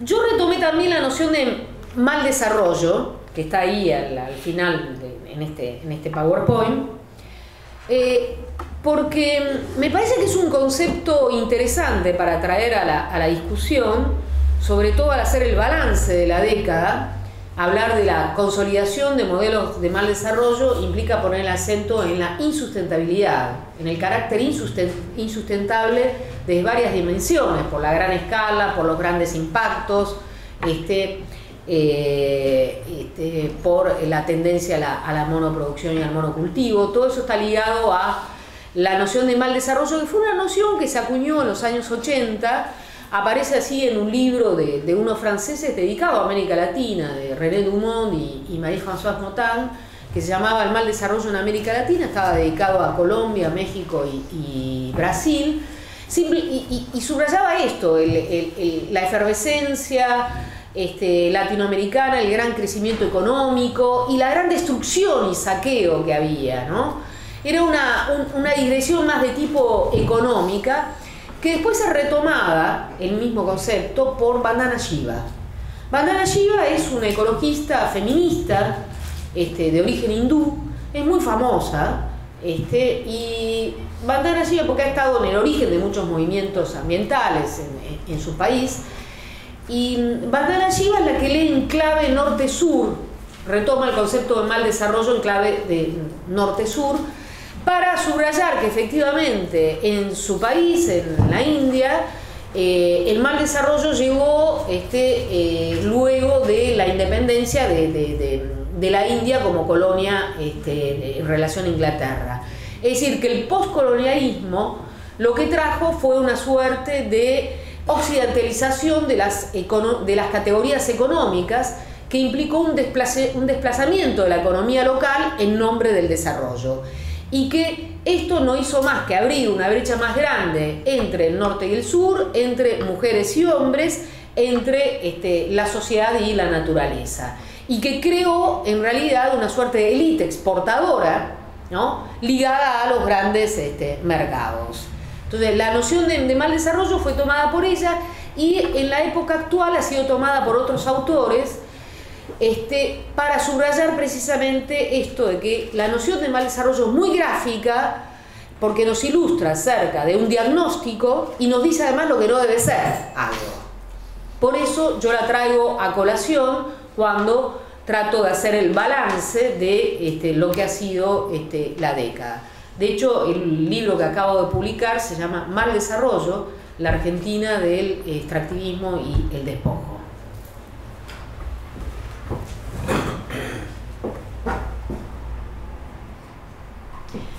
Bueno, ahora sí me gustaría ir a las fases y esa, en ese marco que vamos a hablar un poco también de las, de las visiones que hoy se disputan del desarrollo, ¿no? Porque como les decía, eh, lo que llamo el consenso de los commodities desde mi perspectiva tiene como diferentes momentos. Este, no es lo mismo el año 2000, 2003, este, 2005, 2006, donde había una gran expectativa acerca de lo que podían realizar la mayor parte de los gobiernos progresistas, pero sobre todo Ecuador y Bolivia, que sintetizaron esa, apertura radical de la que hablé antes porque vimos también, o vamos a ver que en realidad a lo largo de la década van a este, expandirse, multiplicarse conflictos de índole territorial y ambiental, ¿no? que van a poner de relieve esta contradicción entre la frontera de derechos y la frontera del capital, ¿no? Y a partir del año 2008, sin duda entramos entre 2008 y 2010 a un momento, digamos, de multiplicación de los proyectos extractivos. Y este es, un momento que está ligado a la fase de consolidación de varios de los gobiernos, entre 2008 y 2010, de varios de los gobiernos progresistas que ven renovados sus mandatos, desde Evo Morales, eh, Kirchner, este, Lula, luego Dilma, este, Correa después, la renovación de los mandatos presidenciales implica, conlleva una actualización muy fuerte de otra de las grandes narrativas que recorre el continente, que es la narrativa nacional popular, en clave estatalista. Y efectivamente, ahí vamos a ver una inflexión que está muy ligada a este, la consolidación de fuertes liderazgos personalistas, y al cierre de las escenas o de escenarios que eran más o menos abiertas a otras narrativas, como puede ser la narrativa más territorial, más indígena, una narrativa más ligada a la defensa, por ejemplo, del territorio y del este, medio ambiente. Entonces, hay desde mi punto de vista en la fase de consolidación de los gobiernos ya una inflexión grande y esto coincide con el estallido de ciertos conflictos que van a ser emblemáticos y con la aceleración y multiplicación de los proyectos extractivos. ¿Por qué? Porque la mayor parte de estos gobiernos, en sus programas de gobierno a la hora de ser reelegidos, van a mostrar a las claras que la intención es reforzar los proyectos extractivos. Por ejemplo, en el caso de la Argentina es el plan estratégico agropecuario, no agroalimentario, perdón, este 2012-2020, ¿no? que es un, un, programa que plantea el aumento en un 60% de la producción de granos, es decir, de plantación de soja, con lo cual vamos a tener mayor corrimiento de la frontera extractiva, mayor cantidad de glifosato, este, mayor eh, eh, pérdida de biodiversidad y mayor eh, proceso de criminalización y arrinconamiento de las poblaciones este, indígenas campesinas. Pero en realidad todo esto lo vemos en toda América Latina. Vamos a encontrar, por ejemplo, que en el año 2010, una vez consolidado el gobierno de Evo Morales, es decir, una vez que la oligarquía regional es derrotada y se afianza una hegemonía clara del MAS, el movimiento al socialismo, entramos de lleno en la hegemonía desarrollista también, ¿no? En esa hegemonía desarrollista con base extractiva. Y el vicepresidente Álvaro García Linera promete el gran salto industrial, que en realidad tiene poco industrial y mucho extractivo, porque implica la expansión de la frontera hidrocarburífera, de la explotación del gas, de la explotación de la soja y de la explotación del litio, y también la explotación del hierro. Todo eso en asociación con compañías este, eh, multinacionales. En el caso de, eh, de Ecuador, también se va a dar que efectivamente va a multiplicar los proyectos extractivos ligados a la explotación del petróleo y va a avanzar con la megaminería, que es una de las actividades más resistidas y que de hecho se suponía que no iba a avanzar. Ecuador no es un país eh, como la Argentina también, no es un país tradicionalmente minero. Em, en el caso de Venezuela, el programa de gobierno, eh, todavía con Chávez en vida, eh, proponía el avance de la frontera hidrocarburífera en eh, la faja del Orinoco con la explotación de crudos extrapesados, que también son altamente contaminantes, que son hidrocarburos no convencionales. Es decir, ah, y no nos olvidemos de Brasil, muchas mega represas. cantidad de mega represas que se multiplican en el marco del proyecto de, los proyectos del IRSA, de la infraestructura regional latinoamericana, Este, de hecho, Brasil concentra el 80% de la construcción de mega represas en toda América Latina. Se multiplican con Dilma. En Colombia se lanza la locomotora minera como emblema, la consigna de gobierno. Es decir, en todos los países de 2008 en adelante hay, digamos, una asunción clara de que el destino de América Latina pasa por la multiplicación de proyectos extractivos más allá de las resistencias que estos generan. Entonces, es otro ciclo. Es otro momento, en todo caso.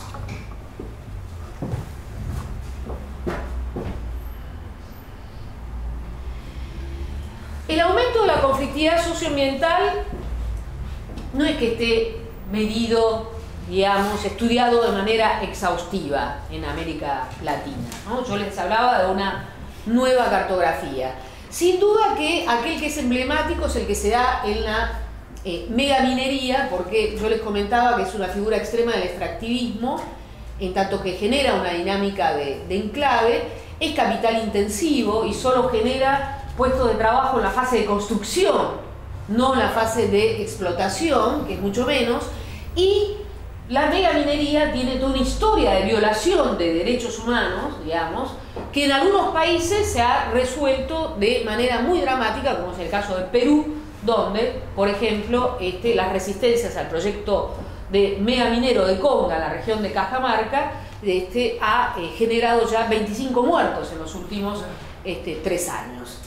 Y es, una síntesis, dice Mirta Antonelli, utiliza esta figura, este, de modelo de ocupación territorial. Es decir, es una territorialidad excluyente que no tolera otras territorialidades.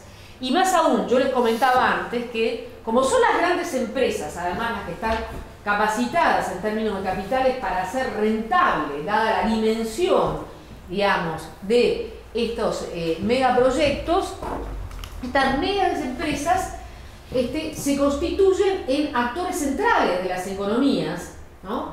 lo que yo llamo actores sociales totales, porque en realidad no solo controlan la economía, sino que llegan a controlar también, en ese sentido, a través de la acción social empresarial, lo que se denomina responsabilidad social empresarial, controlan también la producción y reproducción de la vida en el territorio en el cual se inserta.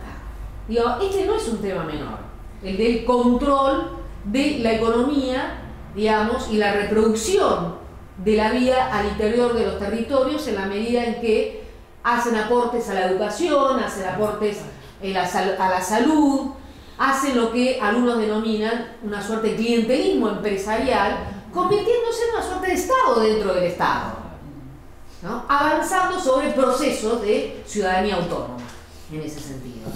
Entonces, no es un tema menor, me parece a mí, el de este, el modelo que genera. Bueno, miren, este mapa es nuevito.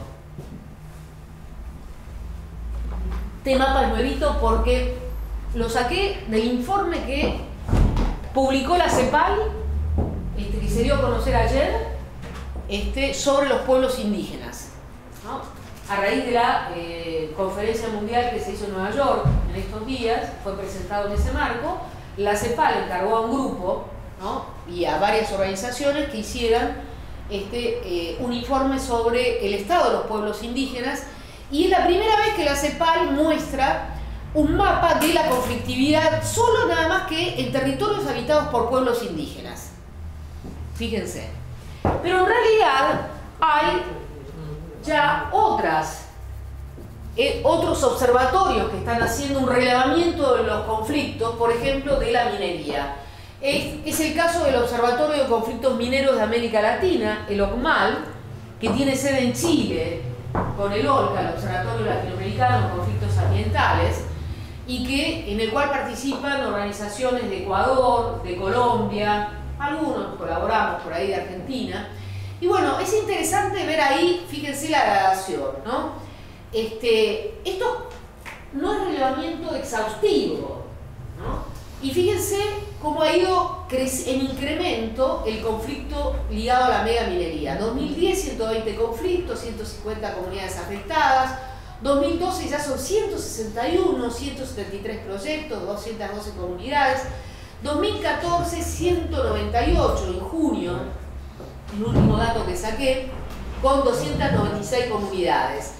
Fíjense también ahí la distribución ¿no? de los conflictos que hay países como Perú, Chile, México y Bolivia. Ay, perdón, ¿estás filmando? Pero no pasa Ah.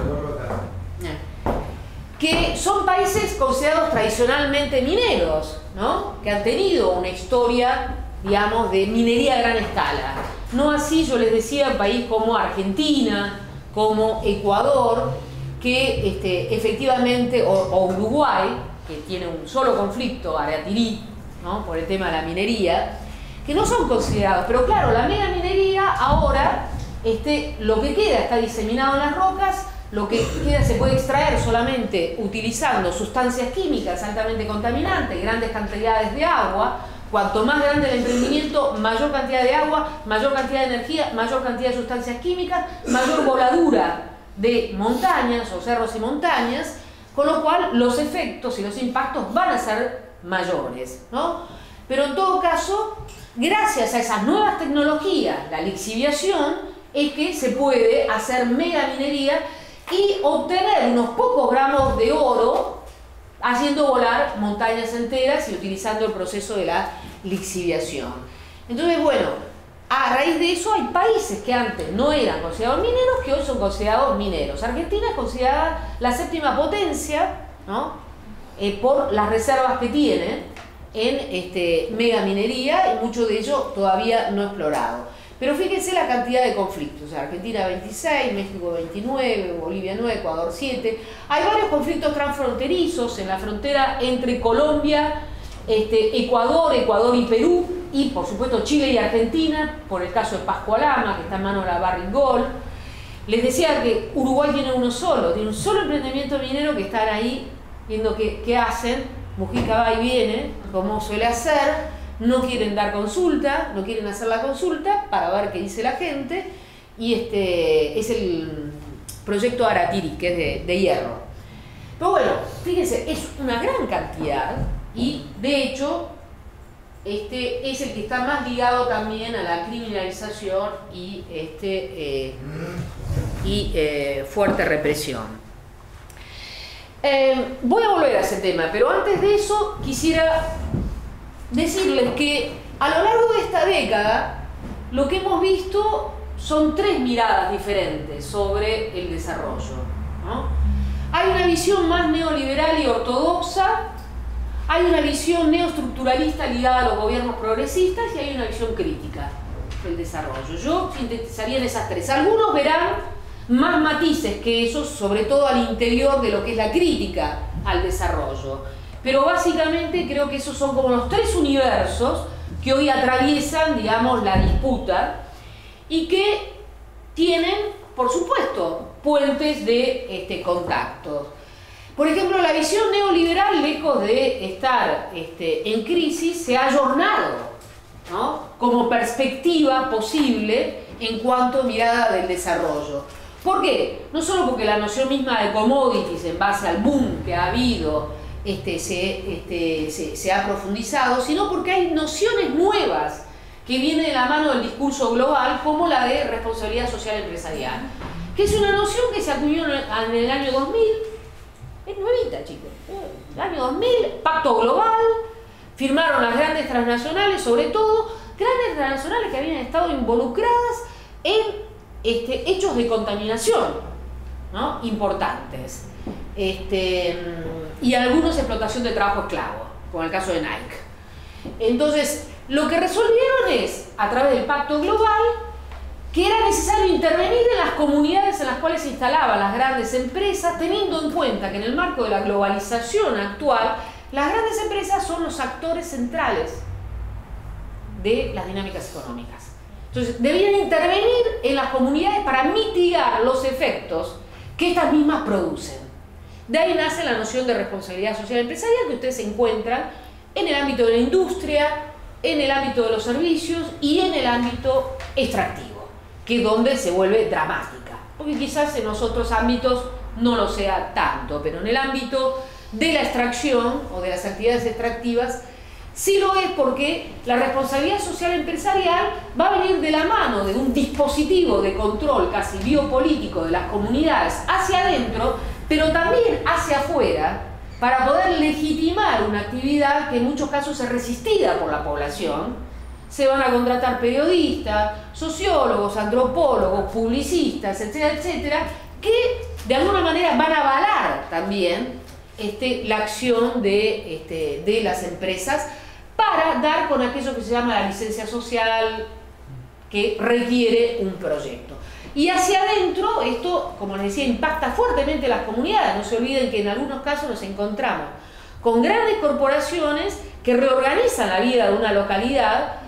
No se olviden también que son proyectos, no hablemos de la soja, pero sí hablemos de lo otro, ¿no? Petróleo, mega represas, este, mega minería, se dan en pequeñas y medianas localidades, que entonces son territorios más vulnerables, más desanclados, más ligados, más alejados de los grandes centros urbanos. Con lo cual la, la población es mucho más vulnerable y quedan los conflictos localizados, encapsulados. Y en ese contexto las empresas tienen un mayor, una, mayor importancia, digamos, ¿no? Entonces, la responsabilidad social empresarial es, fundamental como discurso de batalla, digamos, de este, discurso de legitimación, perdón. Desde el punto de vista de la sustentabilidad, es una visión débil, de eso no hay ninguna duda. Hay suerte de bastardeo, de vaciamiento en nombre de la modernización ecológica. Se va a hablar siempre de sustentabilidad. Ustedes van a ver la Barry Gold sustentable, hace una publicidad preciosa, los campos verdes, Chevron va, va, a mostrar también unas fotos maravillosas de la Amazonía ecuatoriana. En fin, las empresas hacen lo imposible por, digamos, hacer su lavado de cara y utilizan la noción de sustentabilidad. Por eso decimos que ha quedado vaciada de contenido. Entonces, el paradigma de desarrollo sustentable y en los últimos tiempos, después de que se hizo la reunión, la cumbre de Río más 20, el paradigma de la economía verde que va en la línea de mercantilización de este, la naturaleza.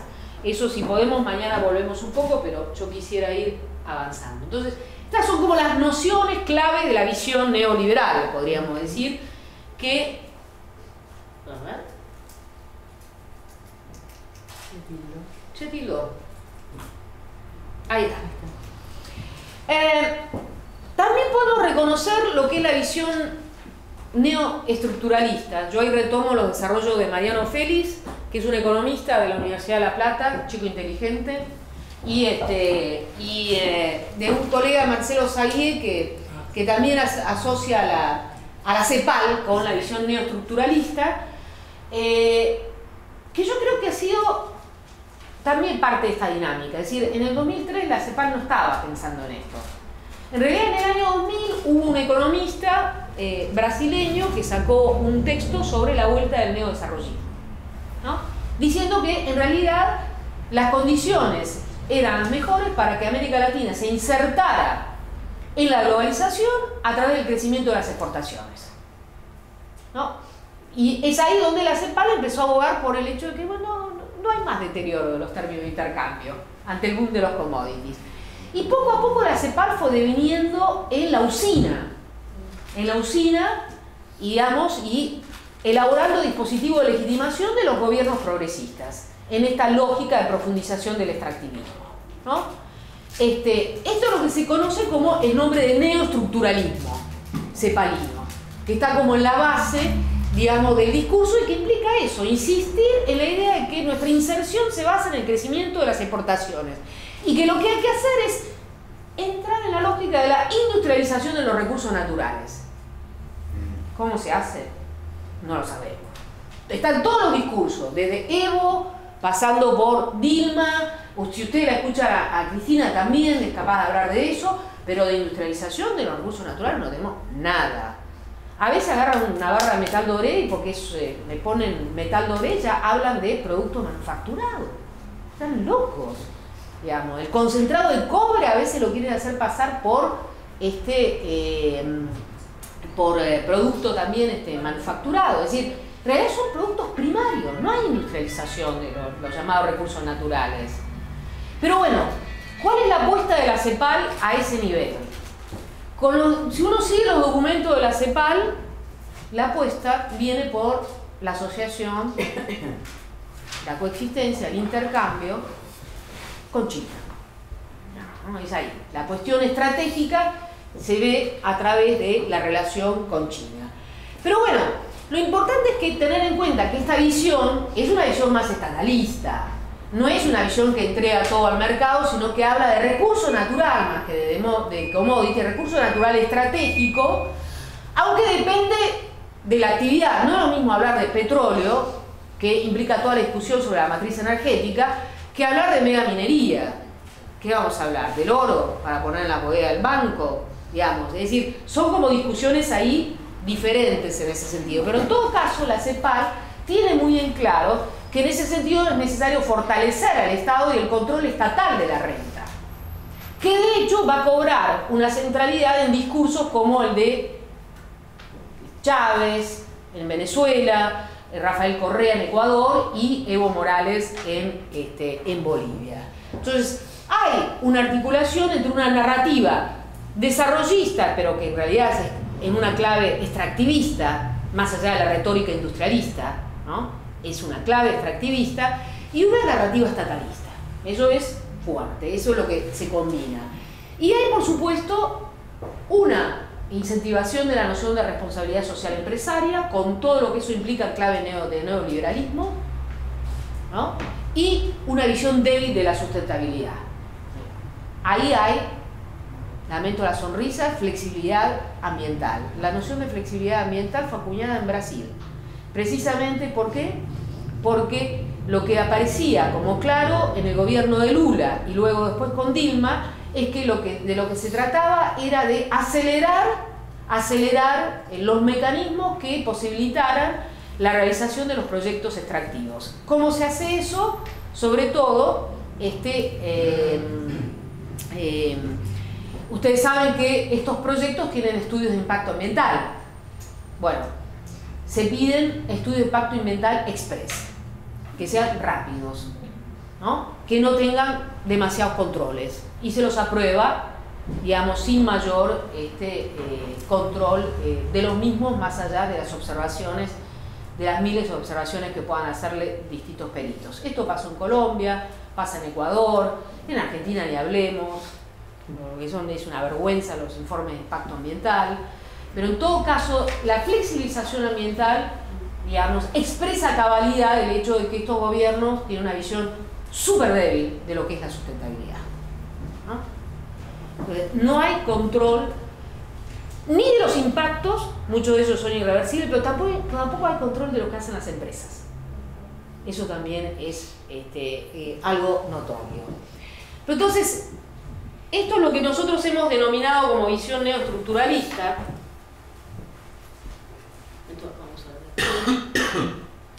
Y por último, uno podría decir que hay una visión crítica del desarrollo, que es la que retoma la noción de extractivismo, neoextractivismo, porque, como yo les decía anteriormente, es también una noción que eh, los propios movimientos, campesino, indígena, asambleas, este, organizaciones eh, no gubernamentales, este, han retomado como propia. Han retomado como propia la noción de extractivismo y en función de ella lo que se critica es esa visión productivista del territorio, lo cual quiere decir lo siguiente. quiere decir, quiere decir eh, que movimientos y movilizaciones van a proponer otro lenguaje de valoración del territorio, que no es solamente el económico, sino una valoración social, religiosa, inclusive puede ser para algunos, este, espiritual, si uno lo piensa en clave de este, eh, cosmología indígena, es decir, lo que van a movilizar o motorizar es otros lenguajes de valoración, no necesariamente economicistas, sino que apelan a otras dimensiones que van a entender en clave de reivindicación de la vida y reivindicación del territorio. ¿Ah? Entonces, eso me interesa subrayar, que son lenguajes de valoración diferentes, ¿no? que por supuesto se opone a la idea de territorios socialmente vaciables de aquello que no considera como valorizable el capital, ¿no? en esa visión más crematística o este, económica. Y no solo la noción de commodity es extraña a esta visión crítica, sino también va a haber una crítica fuerte a la noción misma de recurso natural estratégico. O sea, se la va a reemplazar por la noción de bienes comunes. La noción de bienes comunes es la noción fuerte que atraviesa a los movimientos sociales y más aún la denuncia del cercamiento de lo común es uno de los elementos fundamentales que atraviesa las luchas. En ese sentido podemos hablar de sustentabilidad fuerte eh, como mirada, digamos, más general, que ve el acoplamiento entre equidad, eh, defensa de, la vida y este, sustentabilidad. Pero si uno mira esto, en realidad nos dice algo, pero no nos dice todo. ¿Por qué? Porque si uno mira Ecuador o Bolivia, ve que efectivamente Bolivia y Ecuador tuvieron, una visión crítica del desarrollo y al mismo tiempo una visión neoestructuralista. Porque fueron esos países en los cuales los procesos constituyentes, de la mano de las movilizaciones populares, lograron poner en la agenda la discusión sobre la temática del desarrollo. Hubo una disputa, una puja, y bueno, podemos decir que en realidad los gobiernos optaron por una visión netamente neoestructuralista, digamos, movilizando, multiplicando los proyectos extractivos. Pero entraron en ese campo de disputa. De ahí que ustedes van a oír también que eh, Rafael Correa va a incentivar la megaminería diciendo que en realidad el problema no es la megaminería, sino la pequeña minería. La pequeña y mediana minería porque esa es más contaminante. En cambio, la megaminería, como utiliza tecnologías apropiadas de punta, no contamina. ¿No? Este, y que entonces se respetan los derechos de la naturaleza. Pero que en realidad habría que verlo, porque los derechos de la naturaleza son supuestos, tampoco que estén probados. Hay mucha contradicción en este lenguaje, pero uno va a encontrar en esos discursos una afirmación de los derechos de la Pachamama, la Madre Tierra, la naturaleza, una afirmación de buen vivir o el vivir bien como un horizonte y al mismo tiempo una fuerte afirmación y multiplicación de los proyectos extractivos. Entonces hay como, ahí, hay, hubo un espacio de disputa. En otros países no. O sea, en Argentina uno no podría decir que hubo esa disputa. En una manera, o sea, lejos del horizonte retórico de este gobierno que no conoce ni siquiera la palabra extractivismo. ¿Ustedes oyeron alguna vez la palabra extractivismo en gente como Cristina o en gente como Wiener? Nunca, jamás. Es decir, no está dentro del horizonte de discusión. De hecho, cuando se abrió la discusión sobre el modelo de agronegocios, tuvo que ver con la mejor manera de insertarse en él de parte de ciertos actores. Pero al mismo tiempo esa discusión abrió a la posibilidad de mostrar qué es lo que quedaba afuera. Por ejemplo, lo que estaba ocurriendo con los movimientos campesinos este, indígenas que eran este, eh, estigmatizados y eh, eh, arrinconados y, también reprimidos en la zona de la frontera este, sojera. ¿no? Pero bueno, lo que quiero decir es que cada país tiene ahí también su dinámica propia.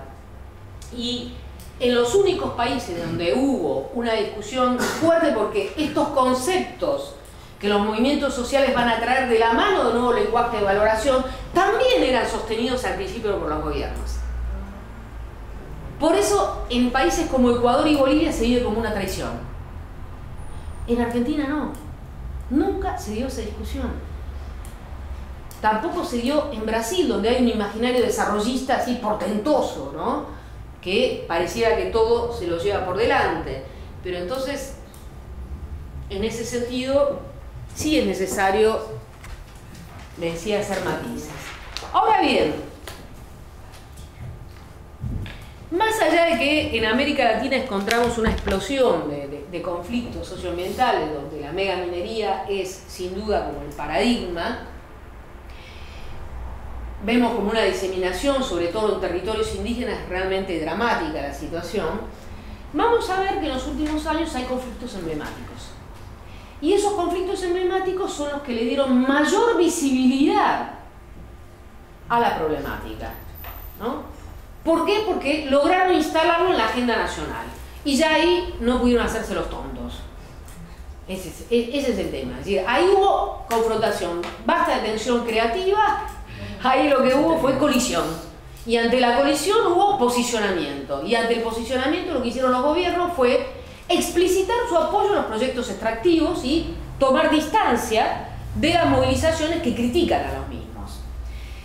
Yo menciono estos, que por supuesto ahí está mezclando, digamos, a los países con gobierno progresista con los países con gobierno neoconservador y liberal, porque están Perú y este, Colombia.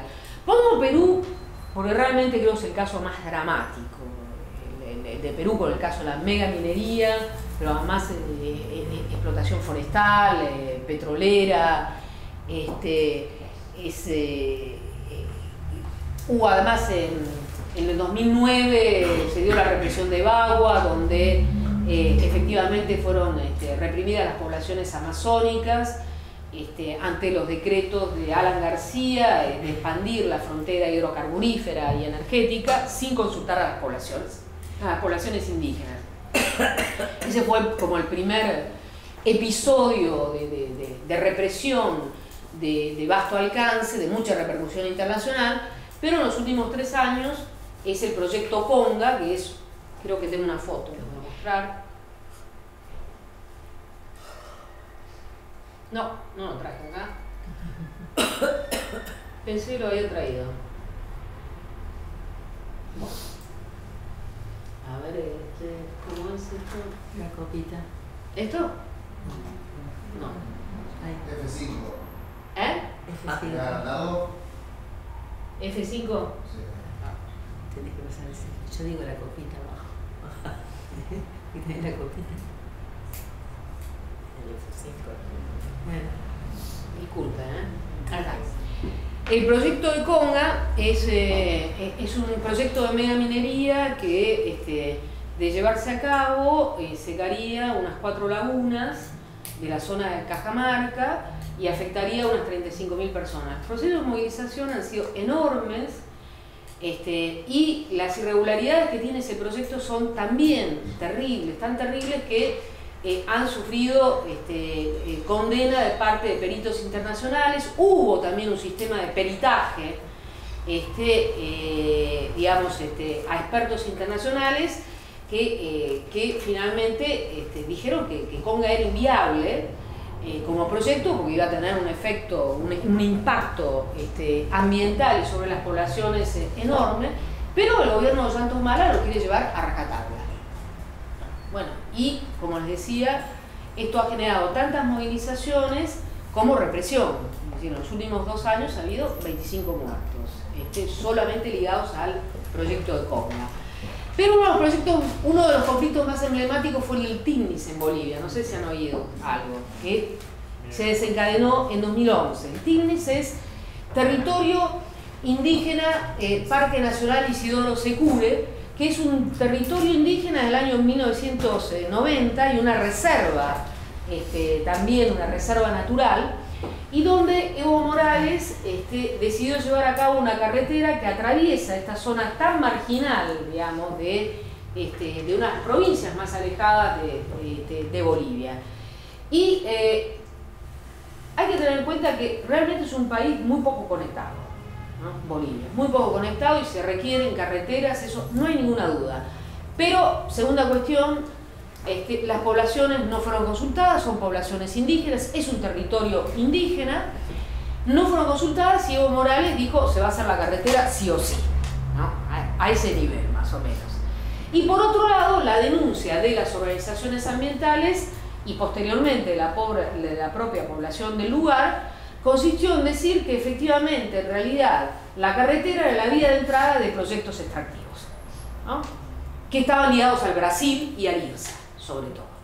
Bueno, les digo, 2011-2012 fue terrible, porque además el gobierno de Evo Morales estaba ya consolidado, era una hegemonía desarrollista nacional popular, este, y habían empezado los conflictos ya con este, algunas organizaciones indígenas rurales, pero esto lo llevó ya a un nivel, digamos, de, escalada nacional.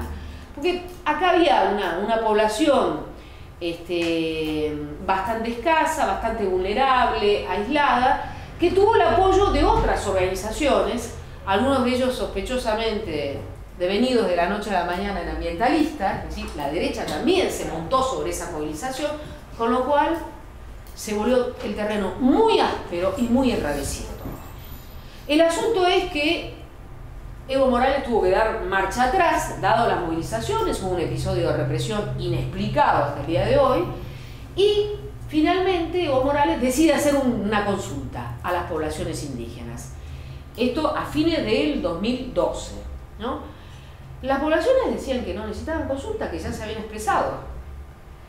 Y lo que el gobierno de Evo Morales hizo fue manipular una consulta. Esa consulta le dio, por supuesto, el 80% de la población decía no a la intangibilidad del TIMNIS, sí a la construcción de la carretera.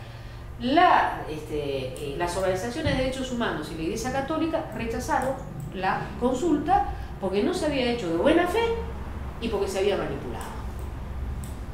Y Evo Morales recordó el mandato, eso de mandar obedeciendo, y hecho, hizo marcha atrás. Pero vuelve todo el tiempo y esa carretera se va a hacer en algún momento, queda claro. Lo que quiero decir es que fíjense qué enrarecido se pone todo, porque llegó a tal nivel que además Álvaro García Linera, el vicepresidente, que es un sociólogo muy connotado, escribió un libro horrible, se llama Geopolítica del Tignis, en la cual trataba a todos los ambientalistas de este, ambientalismo colonial, donde decía que en realidad todo era obra de las ONG extranjeras, en fin, lo que quiero decir es que salió a hacer una defensa del extractivismo a rajatabla y a demonizar y estigmatizar toda aquella crítica al extractivismo. Si hubo un blanqueo del consenso de los commodities, si usted quiere, ¿no? Claramente. Y este, en el caso de Bolivia, es decir, más allá del discurso de defensa de la madre, de la madre tierra o la Pachamama, los derechos de la naturaleza, lo que quedó en claro es que solo se puede avanzar en el modelo de inclusión con más extractivismo. Y que aquellos que se oponen son fundamentalistas este, neocoloniales este, y eh, que están al servicio de las, este, de las grandes ONG extranjeras.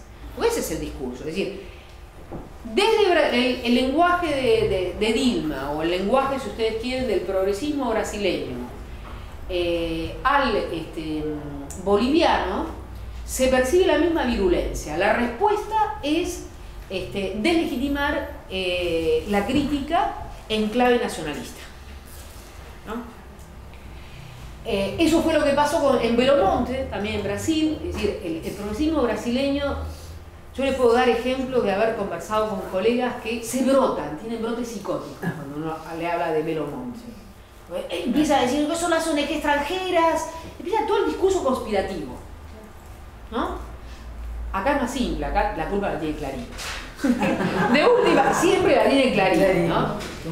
Este, no sé si recuerdan este, con Famatina, en el enero de 2012, ese largo y caliente verano de 2012, el primer mes no sabían cómo hacer. El progresismo le habían tocado su punto ciego. ¿Qué van a decir? ¿Van a salir a defender a la Barricol? Digamos, este, no, realmente eh, se encontraban en una, en una gran incomodidad. Y hasta que Cristina eh, tomó el toro por las astas y dijo, muchachos, el modelo minero es un modelo eh, claramente legitimado y es parte central de, la política de Estado. Viajó a Cerro Vanguardia, a, Río Gallegos, perdón, a Santa Cruz, y este, hizo la, videoconferencia con los mineros, dijo vamos a dar un debate verdaderamente democrático, un debate serio, y Real lo que hizo fue cerrar la cuestión. Se creó la OFEMI, la Organización de, Estados Provinciales Mineros, con lo cual se provincializó nuevamente la, problemática. Clarín en ese momento tomó primero la temática porque era un, tema para poder pegarle al gobierno, ¿no? pero en cuanto hubo otros temas que a ese nivel le significaban menos gasto para poder golpear al gobierno, como por ejemplo este, el accidente de Once, inmediatamente expulsó la problemática de la mega minería de los primeros planos. Porque en, este, en estos temas ambos poderes se alinean. Digamos, lo que sea soja, eh, mega minería, fracking, están todos alineados. Es decir, es, es un problema o una cuestión, la discusión sobre el modelo de desarrollo que desborda claramente este, el esquema binario, pero que es utilizado por uno o por otro para alimentar este, la confrontación entre este, estos poderes. Y en Argentina eso pasó con Famatina. Fue expulsada la problemática, desapareció. Cuando se dio el accidente de Ocio, si ustedes siguen en los medios, desapareció de golpe la problemática de la mega minería. Y si ustedes siguen también, 2012 fue el año de mucha represión en las provincias. Hubo siete represiones en Catamarca, de las cuales varias en Tinogasta, en las cuales la televisión pública, periodistas de la televisión pública llegaron a acusar a los periodistas de Clarín que estaban presentes ahí, como que habían fogoneado la represión. Cosas delirantes se vieron realmente, ¿no?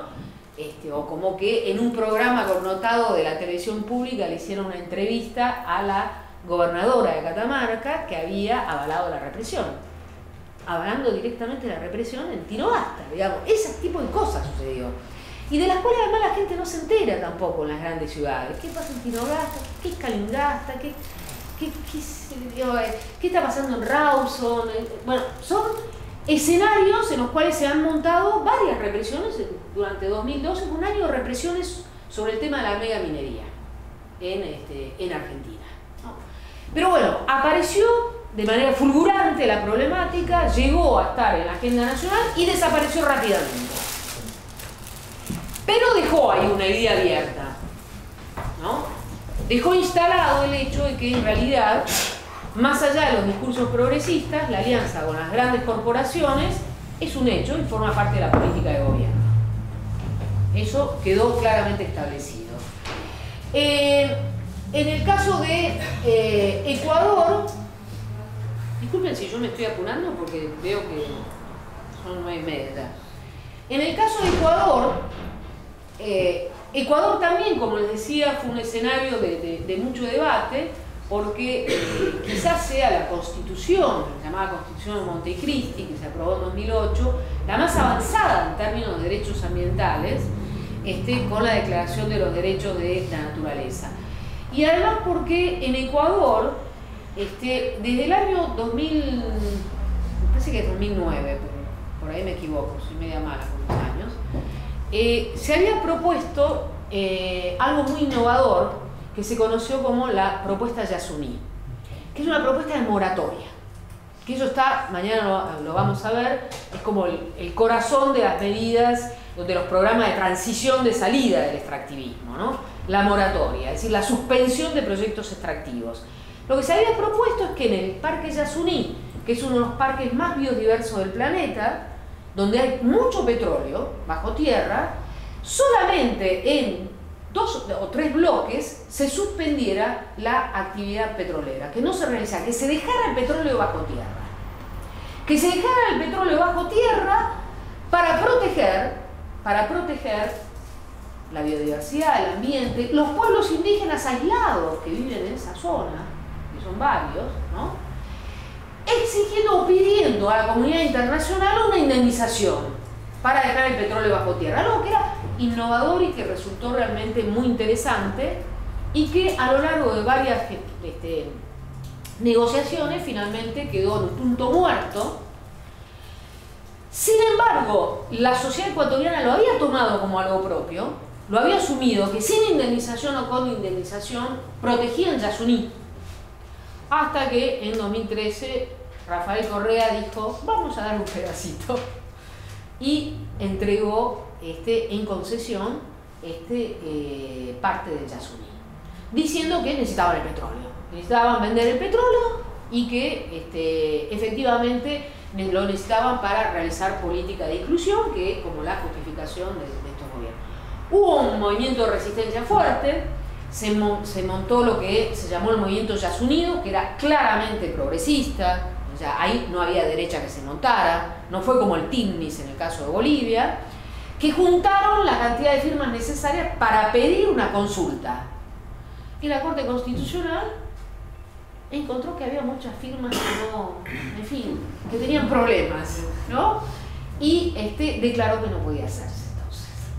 O sea, realmente son escenarios complicados. Ni que hablar en Ecuador, donde este, em, en la época de la constitución de Montecristi en Ecuador este, se, este, se, arrastraba una gran cantidad de militantes criminalizados que fueron amnistiados. Ahora bien, desde la época que asumió Rafael Correa hasta ahora, hay 213 personas criminalizadas bajo la figura de sabotaje y terrorismo, bajo el gobierno de Correa. La mitad de ellos son, es población indígena, la mitad de ellos está ligada, ligada a la resistencia contra la mega minería. La otra mitad son estudiantes universitarios. Digo, eso en el gobierno de Correa. Digo, para que vean los virajes, digamos, las vueltas que tiene todo esto, que es diferente a lo que este, a las promesas que efectivamente este, traían el origen, sobre todo eh, en Ecuador. Fue un gobierno al inicio que mostraba como dos bloques conectados, un bloque más nacional desarrollista y un bloque ambientalista, digamos, más, y más aún un gabinete, un, doble gabinete. eso a los pocos años, digamos, se, diluyó, estalló, y quedó muy en claro una retórica, una narrativa estatalista, fuertemente desarrollista, que va por más proyectos extractivos y que con la consolidación del liderazgo de Correa en clave muy, muy populista, este, está haciendo este, a ese nivel una deriva más autoritaria de lo previsible. El gobierno de Correa es el que más virajes autoritarios está dando en América Latina, no hay ninguna duda. Extractivismo y derechos humanos. Eh, hay toda una línea ahí para seguir, porque efectivamente, digamos, si vemos la, la dinámica, es que ha habido aumento de los conflictos, que se ha ido blanqueando, digamos, el, el discurso y en la práctica de los gobiernos el extractivismo queda como la base del modelo, ¿no? tiene como contracara entonces un proceso de cada vez mayor de estigmatización de la lucha ambiental, con episodios de represión y también este, criminalización. Esto lo podemos ver en la mayor parte de, este, de los gobiernos. Acá les, estaban, tenía los casos, 25 muertos en Perú de la asunción de Ollanta, ha habido asesinatos en Panamá y México, todo eso ligado a la mega minería. Ahí hablaba de represiones y criminalización en Argentina, este, las siete represiones en Catamarca, que no salió ningún medio eso, en 2012. Ecuador hablaba de las 219 personas criminalizadas. Pero también ligado, por ejemplo, al corrimiento de las fronteras del agronegocios, ustedes se encuentran cada vez más, este, hay más asesinatos de, este, de, miembros de comunidades y de organizaciones campesinos indígenas en Brasil, Paraguay y Argentina. En Argentina, este, de, eh, de, los 35 muertos que ha habido en situación de represión, algunos de ellos no reconocidos como muertos en situación de represión, hay una quincena de ellos que han sido, este, que tienen que ver con la expansión de la frontera de la soja, que son sobre todo indígenas y campesinos, y que muchos de ellos han sido asesinados por sicarios este, eh, o este, ordenados por muertes ordenadas por terratenientes y que son lo que también se dan en un contexto como enrarecido, en lo cual pueden ser accidentes, dicen algunos, ¿no? Muertes difusas, dice mi colega Mirta Antonelli, que no son caracterizadas como muertes políticas, muchas veces, pero que en realidad lo son. Tienen que ver con la expansión de la frontera extractiva, con nuevas modalidades de violencia, con la apertura de un nuevo umbral, digamos, de violación de los derechos humanos, que no necesariamente es el mismo, se asimila a la figura de décadas pasadas. ¿no? Este, ¿Vamos bien? Eh,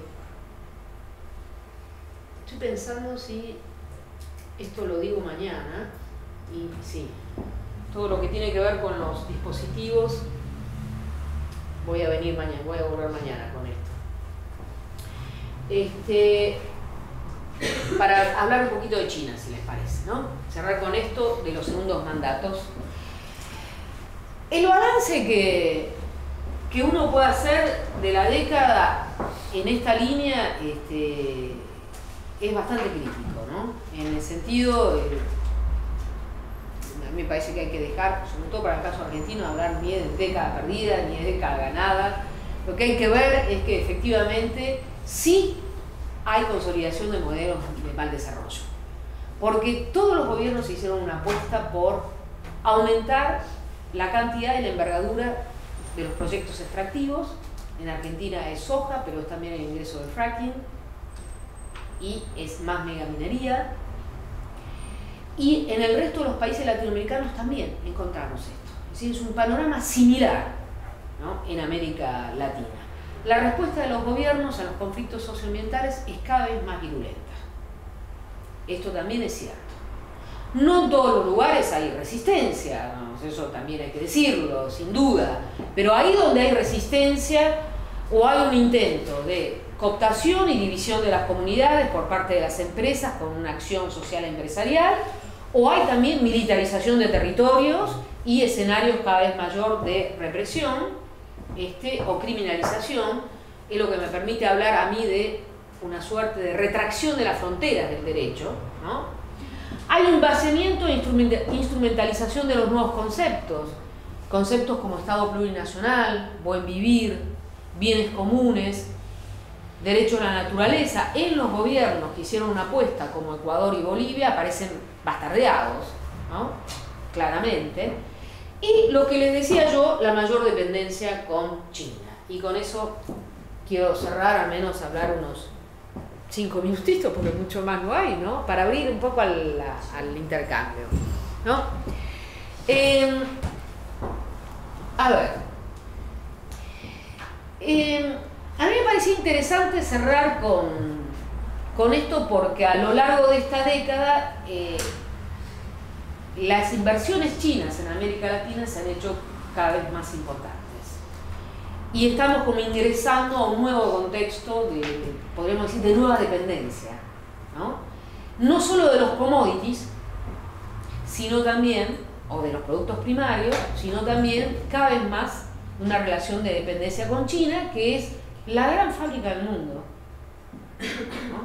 que es además el país que tiene la mayor cantidad de población del planeta, que ha hecho un proceso de industrialización acelerada, pero que a diferencia de los países soviéticos que salieron del socialismo y entraron de manera feroz al neoliberalismo, los chinos no hicieron eso. Los chinos hicieron una transición acelerada acompañada por el Partido Comunista, sin renunciar al control estatal.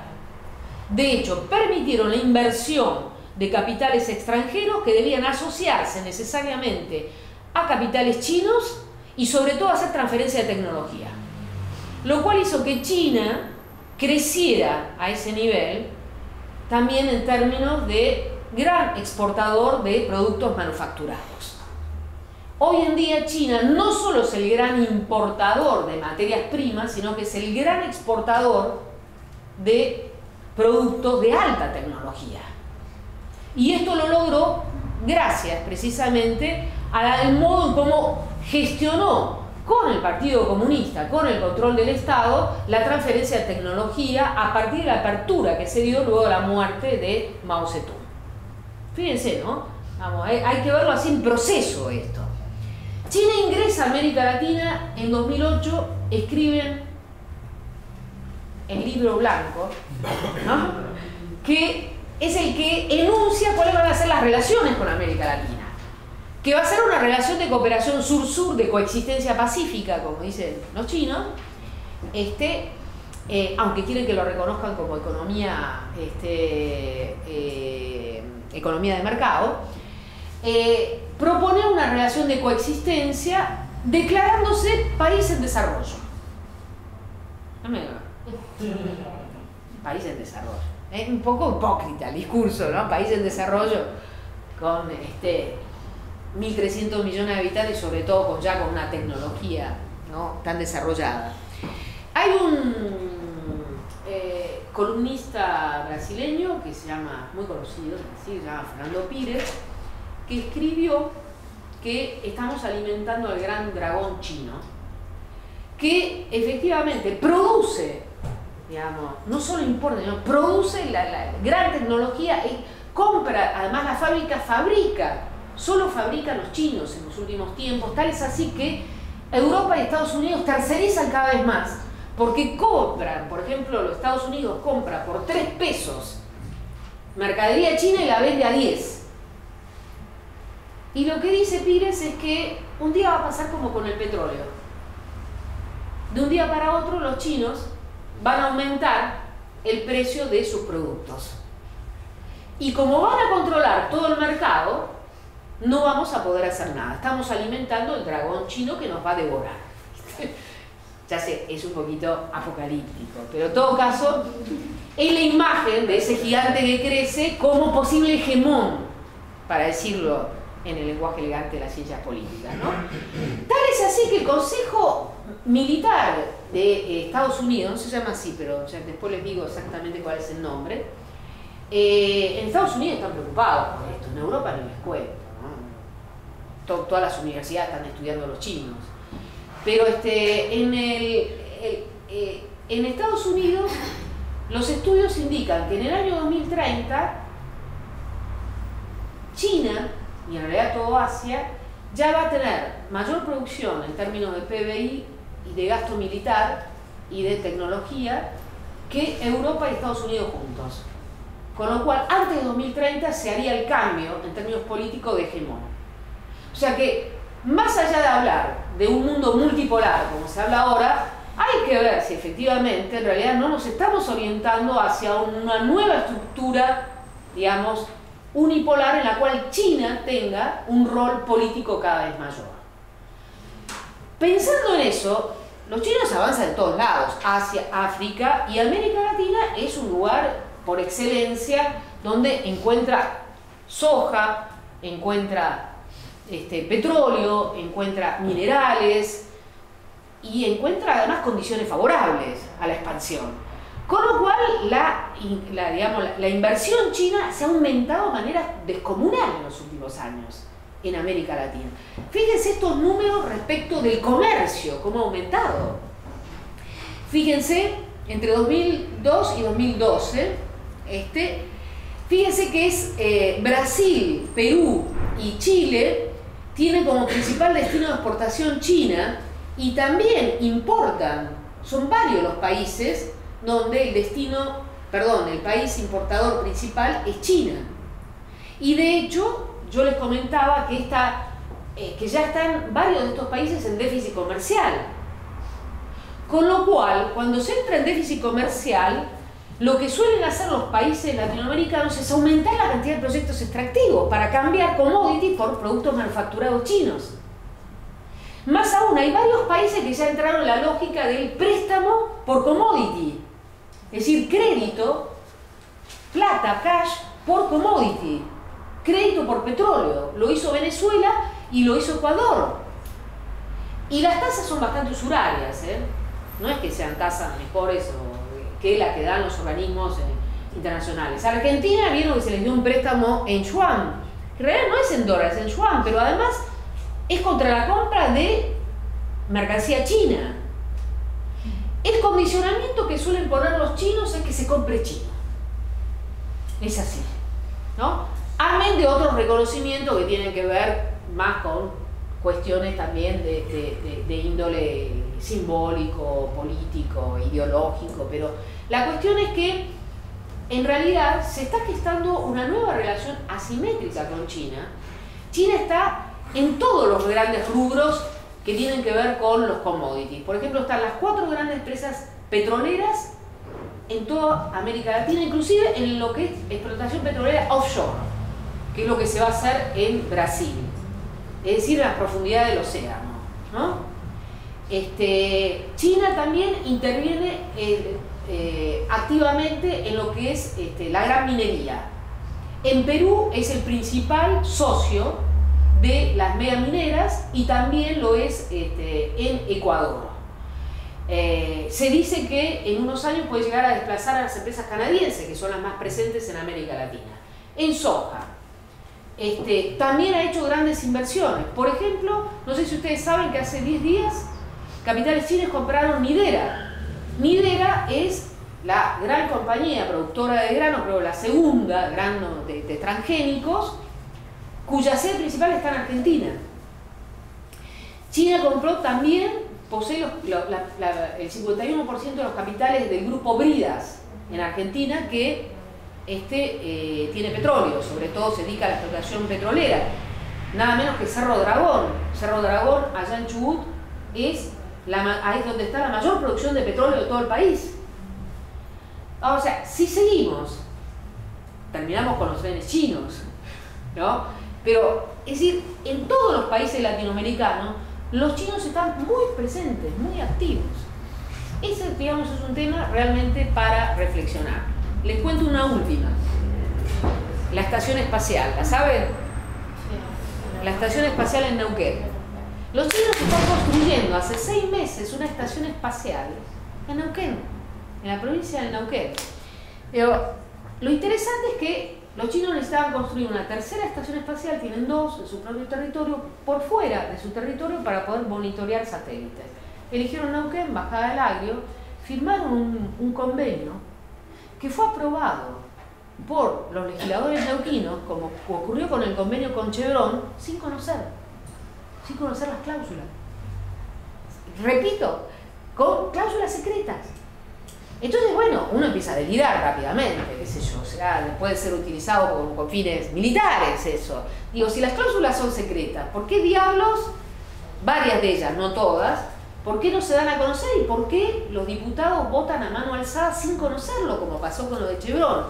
Es decir, fíjense que también se están consolidando ese tipo de convenios de la mano del extractivismo, la cual no se conoce cuáles son las concesiones que se dan a las transnacionales transnacionales o empresas este, de origen eh, estatal, como puede ser el caso de, China, ¿no?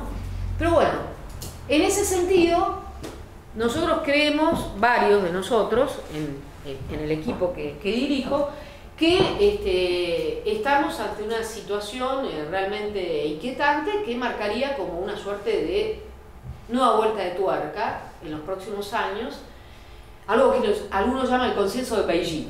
¿no? Vamos hacia el consenso de Beijing.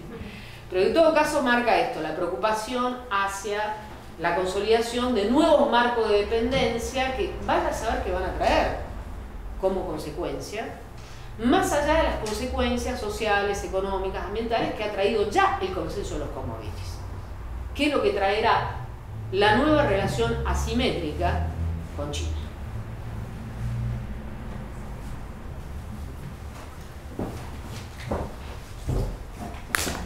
Bueno, abrimos a intercambio, preguntas o, o lo dejamos para mañana, como quieran.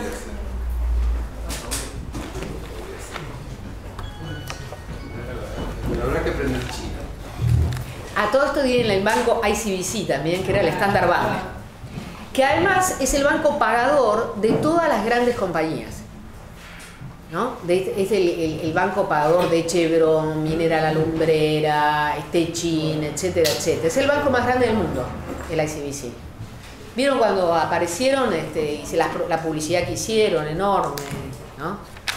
Este, sí, sí, es- en fin, nada, es un detalle, pero que quiero decir, también generan una estructura de servicio en la cual no hacen inversión, ¿eh? Tampoco. Es decir, las conclusiones a las cuales llegamos con los estudios que estamos haciendo con el equipo acerca del rol de China es que eh, todo indica que genera un efecto de reprimarización en América Latina. Que las inversiones que se hacen es en commodity, que no hay transferencia de tecnología, que inclusive en aquello como esa estación espacial ahí en, en Bajada del Aire, ahí en medio del desierto neuquino, por 50 años, 200 hectáreas, eh, los profesionales son todos chinos. No, hay eh, creación, generación de empleo, salvo en algunas cuestiones de servicio que puede tener que ver con comida, hoteles, esas cosas, ¿no? Pero este, de más baja calidad. Este, pero todo indica esto, que eh, efectivamente no, de transferencia de tecnología tampoco se, se puede hablar. Con lo cual, alimentar un discurso de una izquierda boba que habla de, eh, no, no, es que hay una izquierda boba que dice, los chinos son diferentes. No es como el imperialismo norteamericano, los chinos... Con ello vamos a hacer una asociación estratégica que eh, va eh, a apuntar a la industrialización de los recursos naturales. Y ustedes tienen ahí varios intelectuales argentinos y latinoamericanos que apuestan a esa visión y la CEPAL entre ellos se lanzó un documento en 2013 la cual habló también de la asociación estratégica con los chinos. La verdad que nosotros, en mi caso, somos más pesimistas, creemos que va a haber una orientación más tradicional en las relaciones asimétricas de este, nuestros países y el gran gigante asiático.